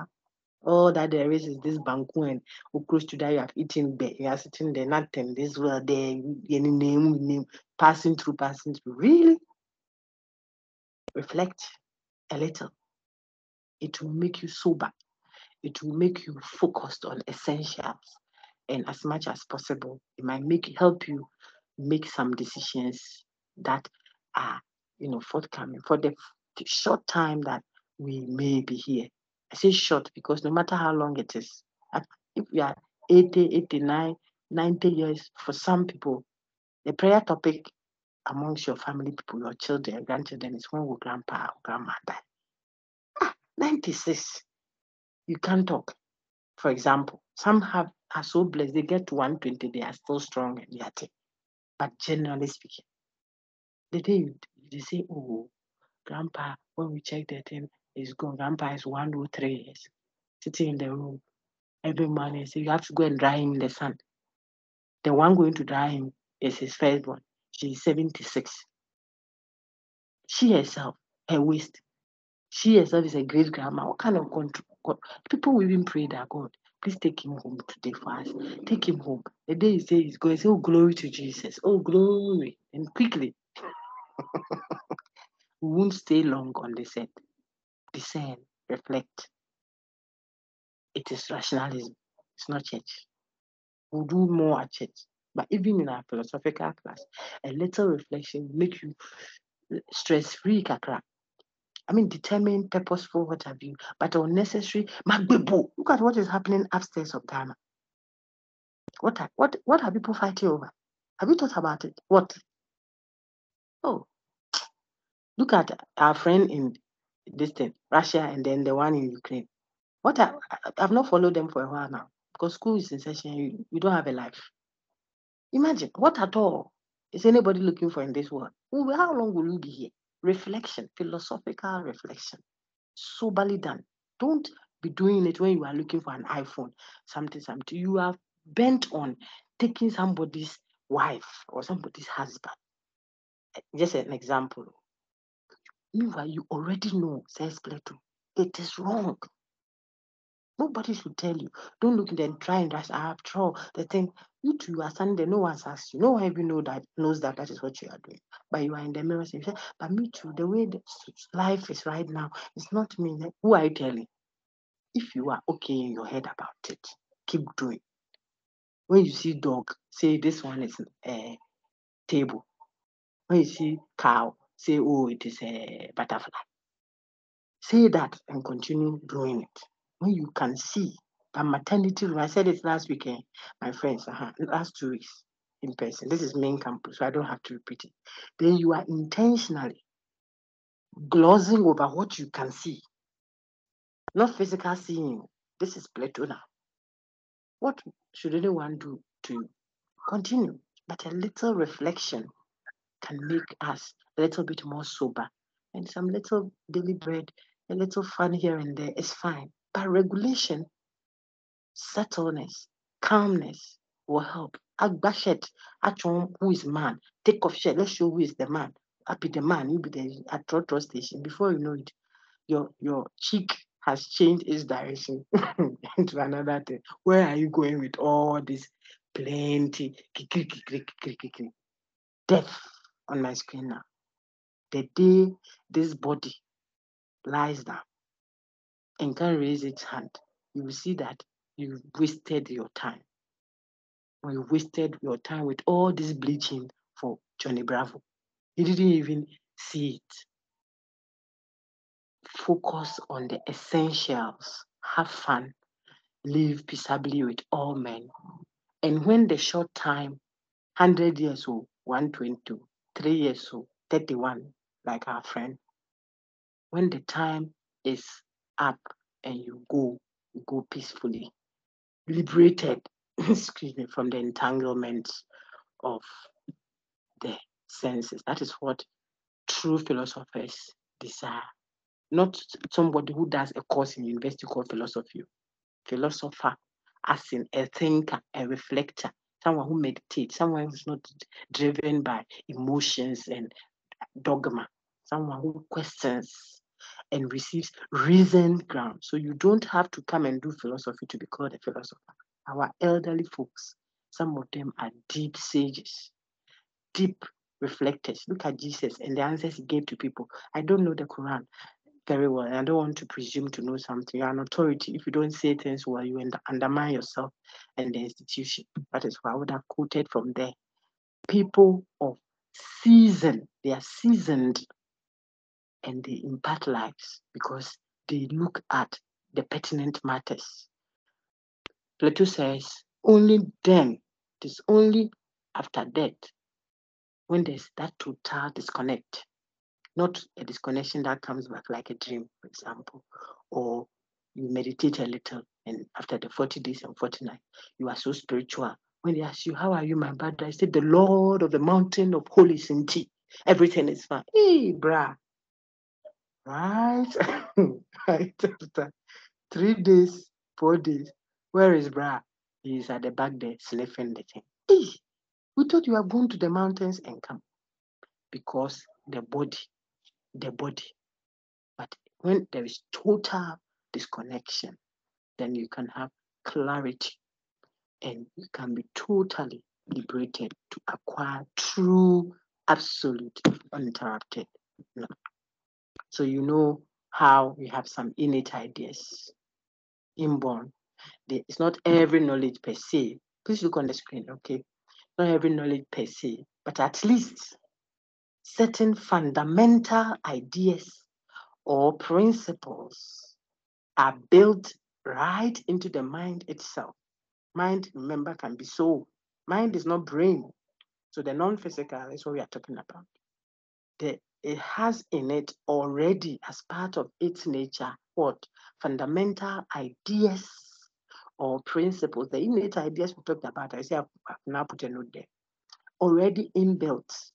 So the phone you buy before you even start loading data to put uh, you know numbers or pictures or what have you on it. When you buy it fresh from showroom and bring it home, it has inbuilt in it certain principles. So the human mind, the human soul, the human being, the world of being, see, not the word the human becoming, but the human being, your being, your reality, the soul, you, has in it certain fundamental, they are basic. They don't have to be the complex one. The basic ideas and principles already integrated in it or built into it and require only to be developed and brought to maturity. So the ideas are there.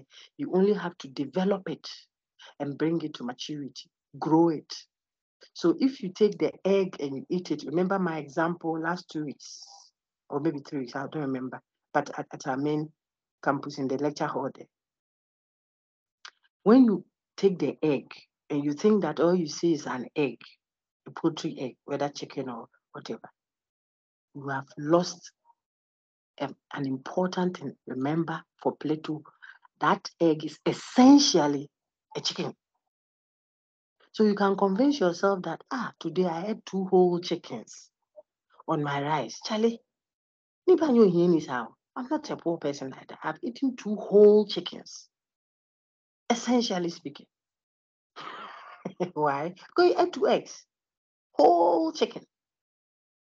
Until it attains maturity, you are still essentially that big man that God has made. you. What we see right now is the in the making. You are in the process. Mm? The cassava dough and the corn dough that is sitting on the table looking useless. It's just a matter of time. Give me some 30 minutes. You'll be shocked how you encounter Zerubbabel's mountain, food. But when it's sitting there, it looks all discarded. The essence is there. You will need this to critique some uh, uh, criticisms that will come from empiricists that ah, why is that children don't exhibit knowledge of those supposed innate ideas? Because the child can walk naked, can even go and take mommy's phone and throw into water and shout bubbles, bubbles. And if the child already knows what is right, what is wrong, what is good, what is bad, why do they behave that way? That is John Locke.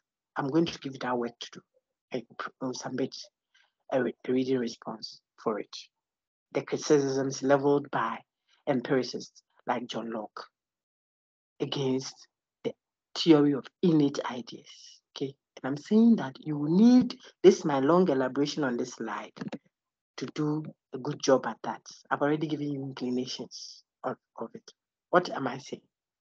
The child, essentially speaking, knows, but may not have attained maturity.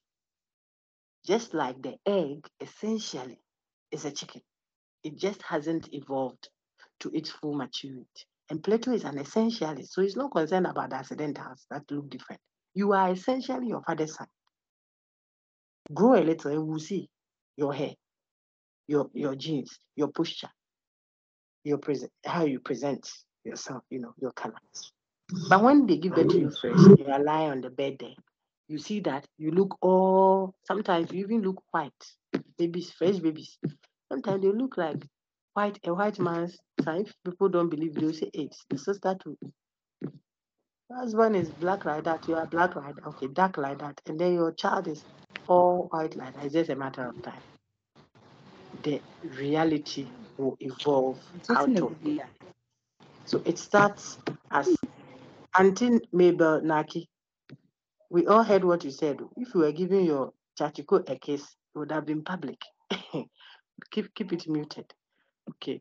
I'm just joking about that one. Right. So innate ideas telling you that the ideas could be there. We have either forgotten or they are yet to evolve and mature. And so the fact that it is not being expressed by whether the child or the idiot or you and I, who we claim we are not idiot, but I believe we all have a certain sense of idiot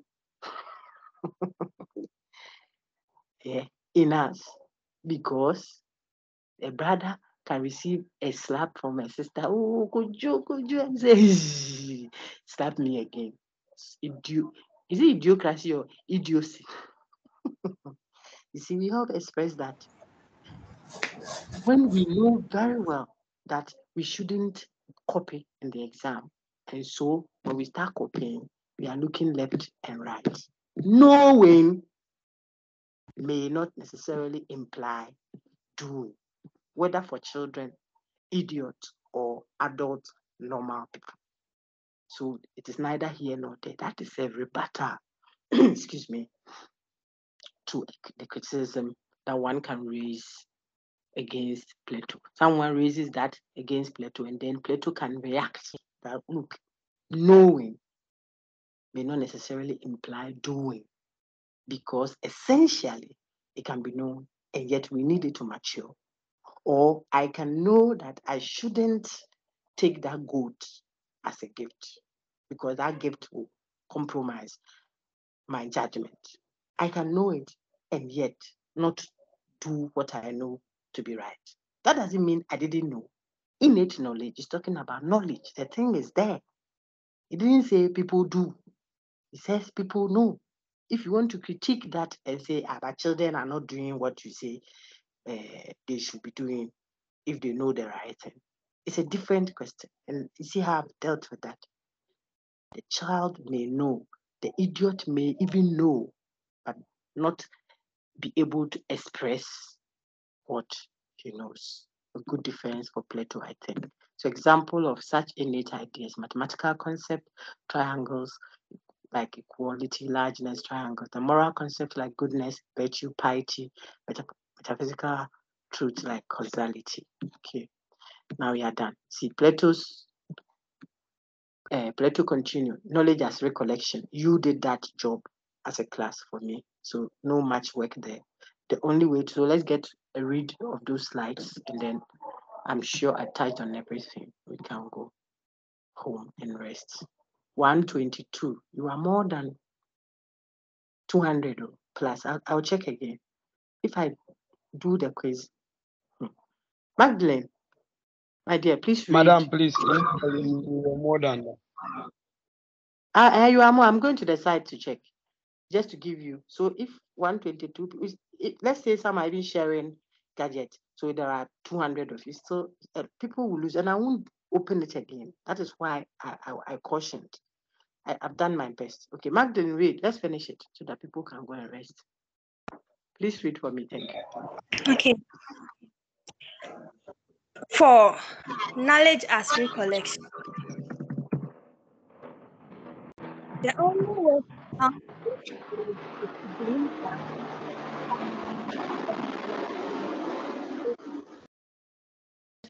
was in the presence of the forms. Oh, where it acquired knowledge I'm, of the I'm sorry. Hold on for a minute. I'm, I have special students Okay. who try to access con- content. So please read it again and be stable so that they can hear too. Okay. Go ahead. Okay. Mhm. Four, knowledge as recollection. The only way to account for this knowledge is to believe that prior to its embodiment in this world, the soul was in the presence of the forms, where it acquired knowledge of the reality, including knowledge of equality.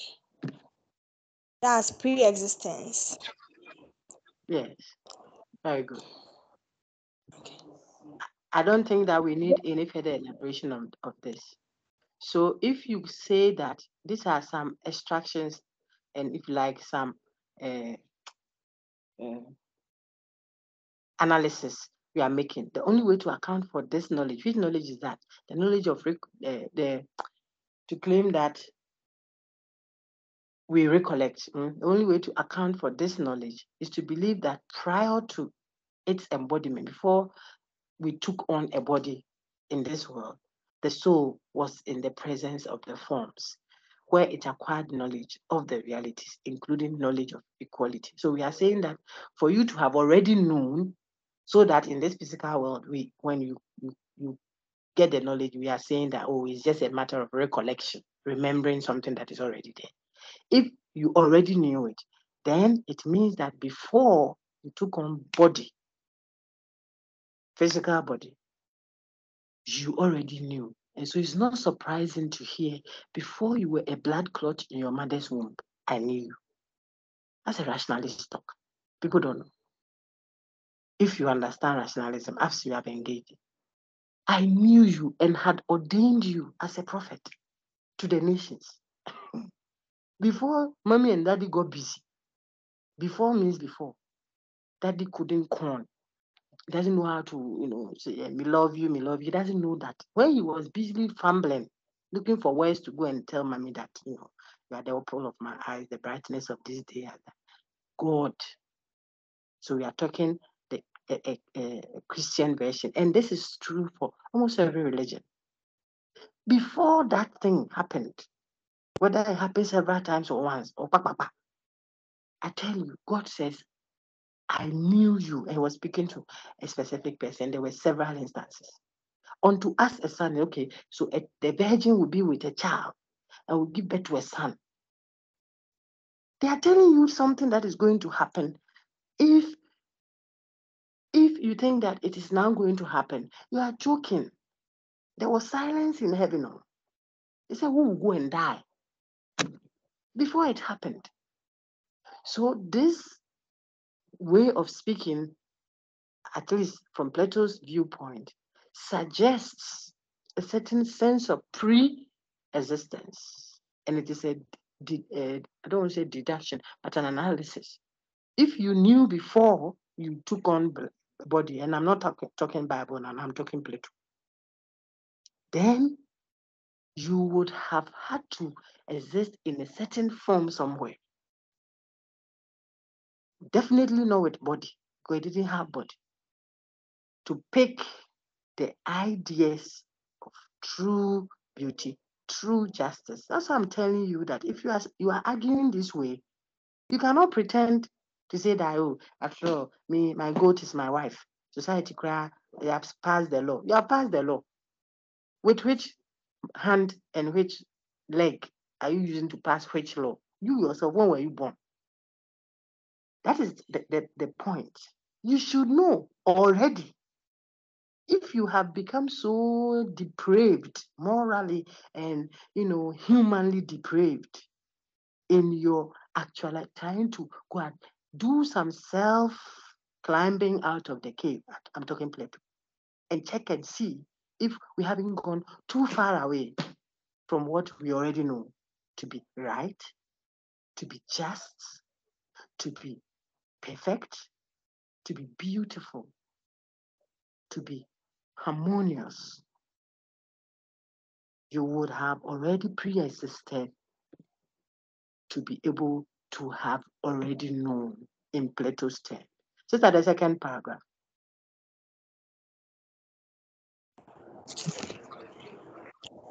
This knowledge was lost or forgotten through the trauma of death. So, to some degree, recollected, subsequent to birth on the occasion of our experience with a particular instance of equality or beauty, for example. Hey, excuse me. Thank you, my What time are we? Supposed? Are we not supposed to close at three thirty?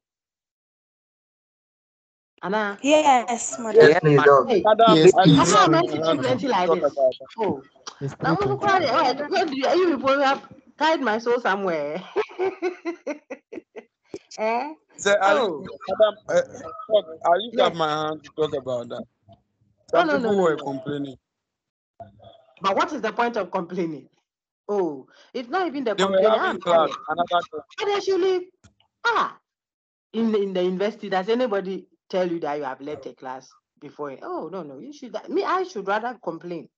How much did you pay me that I should be teaching beyond 330 like that? Yeah. about the assessment and then uh, about the assessment. But can the lecturer set an assessment outside of her time? That's illegal. You are a philosopher. Don't I, it can't be. We like we like your Right. teaching. Uh, That's why. oh, David, David. It's, it's, I That's mean, it's easy. one thirty. I'm just saying it. You know what happened? I have to take my medicine. I'm not feeling too well. So I, I, I just got a prompt on my phone. Say, you have delayed by 15 minutes. I said, ah, how can I by I'm teaching? When I finish the teaching, I'll take the medicine. Then I check the time. Ah, you people, you have overpaid. Next week, we'll start 30 minutes late. Okay, so, but we are done. I'm giving you, don't, whenever there is time class, you go. It's a contract. I mean, uh, you do fine. So the assessment that because of that people came, the class size was still 122. I went to check on Sakai. The people, this this one is a chat. So those who have to go should go. Look, you are 280. If you think I'm joking, let me show you. 280. Oh, oh, back class now.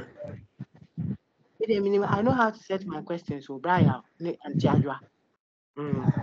How I set my questions. So like if you don't attend lectures, you won't do well. It will show. Maybe you get B when you could have gotten a straight A. There are 280 students registered in a, an elective in about 300. Why? Is, it, is this the only course in the in the in about 300? What am I showing? Three. People, talk to your friends. Eh? Look at this is the number. Wait.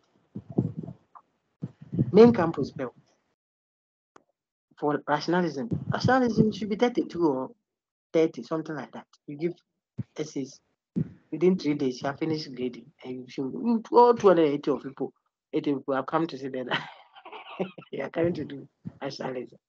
Eh, okay, I think we should end so that people can rest. I, I have to take my own medicine now. So, but we are done. Look at the slide. You see that we are done. I only over elaborated, and I thought that I should give you all that information. People who were complaining there, it's, uh, complaining that I should give them breast milk or something. You are in the university, so nobody can come and sit on your neck. That you heard me. eh? Just think about it. I, I mean, this is university, and I say I tell you that me, I say I'm coming to give assignment. So when my time is finished, I sit down. Who does that? Eh, eh, most Doc. especially a personality like myself. Yes, my brother. We are done. Those who have to go or you, you need to go, please feel free. Eh? But I will take the few queries and then go. Go ahead, sir. Go, go ahead, sir. Someone said dog. And I, who, are my fans? We are done. So, Madam talked like- about.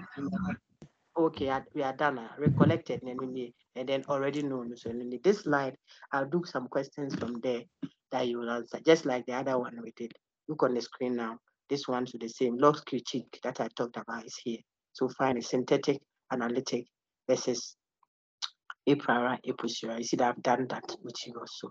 Then Plato's theory of recollection grant an advantage to the empiricist. Why or why not? If we collect VAR after the uh, prompt by the senses, then doesn't it make it look as if the senses actually start the process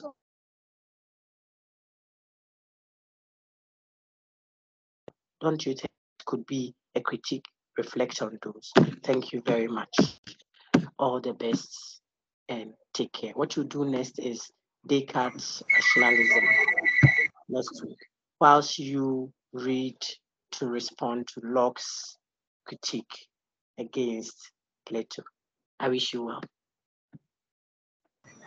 All right, though. Thank you very much, God bless. We appreciate your time. ah ah bravo